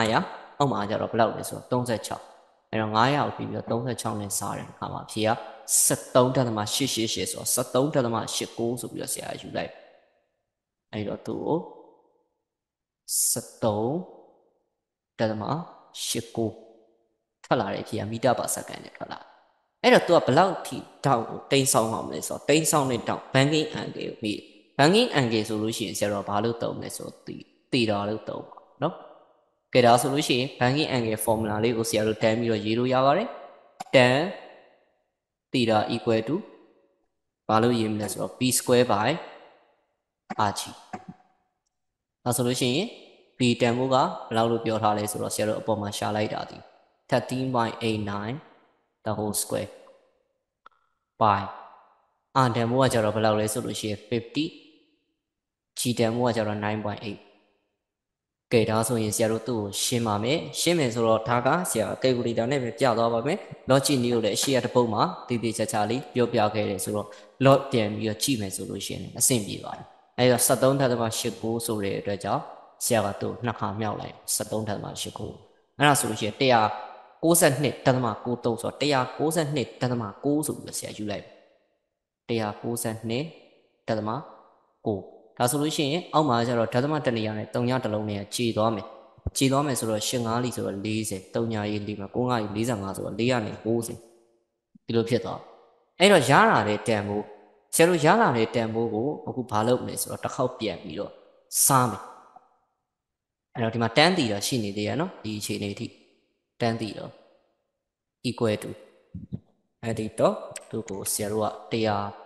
192တသမကိုတီးပြီးတော့490နဲ့စားတဲ့အခါမှာအဖြေကဘယ်လောက်ရမလဲဆိုတော့3ညတသမ3936ခေါ်ဆိုတော့3939ခွန်လို့ယူလိုက်အဲ့တော့3ညတသမ3939ခွန်ကိုဆရာကဒီက10နေတစ်ဖက်ကိုပို့မယ်ဆိုရင် par 10 or at 10ဖြစ်သွားမှာဖြစ်တဲ့အတွက်ကြောင့် invest 10ညမှာ10ပြီးတော့ကြည့်လိုက်တဲ့အခါမှာ 21.48ဆိုတော့49ဆိုပြီးတော့ယူလိုက်အဲ့တော့ခုနကအဆင့်ကိုဆရာတို့ပြန်ပြီးတော့ခေါ်မယ်192ဓမ္မ9ကိုတီးမယ်ဘယ်လောက်နဲ့စမလဲဆိုတော့490နဲ့စမယ်အဲ့မှာဘယ်လောက်ရလာမလဲဆိုတော့3ကို3ခွန်အဲ့တော့3ညဓမ္မ3ကို3ခွန်အဲ့တော့ဒီအဆင့်ကိုဆရာတို့ကဘာလုပ်မလဲဆိုတော့ log စာအုပ်ကြည့်မယ်ဆိုရင်3ညဓမ္မ3ကို3ခွန်ကိုဆရာတို့ logarithm of တန်းချက်မှာသွားပြီးတော့အဖြေတိုက်လို့ရတယ်အကယ်၍ calculator ပဲရှိမဲ့သူဟာဆိုလို့ရှိရင်နော်ဆရာတို့အဲ့ဒီ3.339ကိုပါတန်ဟော inverse term မှာကြည့်လိုက်မယ်ဆိုရင်21.49ဆိုပြီးတော့ရအဲ့တော့21.49 degree ဆိုပြီးတော့ရလိုက်။ Okay လောစာကိုကြည့်တဲ့သူကတော့ minute နဲ့ထွက်လာမယ်ပေါ့နော်။ဒါဆိုလို့ရှိရင် zero review exercise number 1လေးကပြီးဆုံးသွားပါပြီ။ ဒါလေးကကြတော့ zero review exercise number 2ပေါ့နော်။ number 2မှာကြတော့ a ball attached to the string is winding around the vertical cycle ဒါကအရှိက example 2.2မှာပါခဲ့တဲ့ပုံစံမျိုးလေးပဲသူကဆရာတို့ဒီစက်ဝိုင်းပုံသဏ္ဍာန်လမ်းကြောင်းတစ်လျှောက်မှာဆိုလို့ရှိရင်ဝိထုတစ်ခုကိုဆရာတို့ကလှည့်ပတ်နေတယ်တနည်းအားဖြင့်ဒီမှာတော့ဆရာတို့ဘောလုံးလေးတစ်လုံးကိုပါလုပ်မယ်ဆိုတော့ချိုးလေးတစ်ချောင်းနဲ့ဆွဲပြီးတော့သူ့ကိုဆရာတို့လှည့်ကဲဒီလိုမျိုးလေးလှည့်မယ် အဲ့တော့ဒီနေရာမှာကဆရာတို့ဘောလုံးလေးအဲ့တော့လှည့်ပြီဆိုလို့ရှိရင်ဒီဘောလုံးကဘာဖြစ်နေမလဲဆိုတော့သူဒီစောက်ဝိုင်းပုံသဏ္ဍာန်လမ်းကြောင်းရှောက်မှာလေပတ်အဲ့တော့စောက်ဝိုင်းပုံသဏ္ဍာန်လမ်းကြောင်းရှောက်မှာသူဒီလေပတ်အဲ့လိုမျိုးလေပတ်နေတဲ့အခါမှာဆိုလို့ရှိရင်တဲ့ at the bottom of the app လို့ပြောထားတယ်ဒီအဝန်းပိုင်းရဲ့ဆရာတို့အောက်ခြေပိုင်းမှာဘာများဖြစ်နေမလဲဆိုတော့သူဒီအဖြစ်မှန်ရွေးခိုင်းတယ်တခုကကျတော့အတရင်အသက်ရောက်ခြင်းရှိမရှိဘူးတဲ့ အတရင်အသက်ရောက်ခြင်းမရှိဘူးဆိုတော့မဖြစ်နိုင်ပါဘူးဘာကြောင့်လဲဆိုတော့ဆရာတို့ acceleration ဖြစ်ပေါ်နေတယ် tangential acceleration လည်းဖြစ်ပေါ်တယ် centripetal acceleration လည်းဖြစ်ပေါ်တယ်ဒါကြောင့်မို့အတရင်အရှိကိုရှိရတယ်ဒါဆိုရင်ဆရာတို့ A ကမှားတယ်အဲ့တော့ navigate B ကိုဆက်ပြီးတော့ကြည့်မယ်ဆိုရင်သူ့ရဲ့အတရင်အားဟာဆိုလို့ရှိရင် active upward အပေါ်ရက်ကိုတက်နေတနည်းအားဖြင့်ဒီ bottom of the up ကနေပြီးတော့အပေါ်ကိုတက်တက်ရောက်နေမယ်နံပါတ် C ကကျတော့သူ့ရဲ့အတရင်အားကအောက်ပိုင်းကိုတက်ရောက်နေတယ် downward ကိုတက်ရောက် အဲ့ဒီတော့ပြောချင်တာကတော့ဆရာတို့အရှိက example 2.2မှာပါခဲ့အဲ့ဒီချင်းလေးကိုဆရာတို့ကကြိုးလေးနဲ့ခြီးပြီးတော့လှည့်တဲ့အခါမှာသူ့ရဲ့နှက်ဖူဒီဘယ်ကိုပဲတော်မှာလဲဆိုတော့ upward အပေါ်ပဲပေါ့နော်တနည်းအားဖြင့်ဘယ်ဥတည်နေလဲဆိုတော့ center of cycle ဆက်ဝိုင်းရဲ့ဘက်ကိုတက်တယ်ကိုဥတည်နေတယ်လို့ပြောလို့ရတယ်ဒါကြောင့်မို့ဆရာတို့အတရေအားတက်ရောက်ခြင်းမှာဆိုလို့ရှိရင်ဘာလို့ပြောလို့ရလဲဆိုတော့အပေါ်ရက်ကိုတက်ရောက်နေတယ်လို့ပြောလို့ရတယ်ပေါ့ကြောင့် B ပေါ့ဒါကြောင့်မို့ဆရာတို့အဖြေကိုပြန်ဖြေမယ်ဆိုလို့ရှိရင်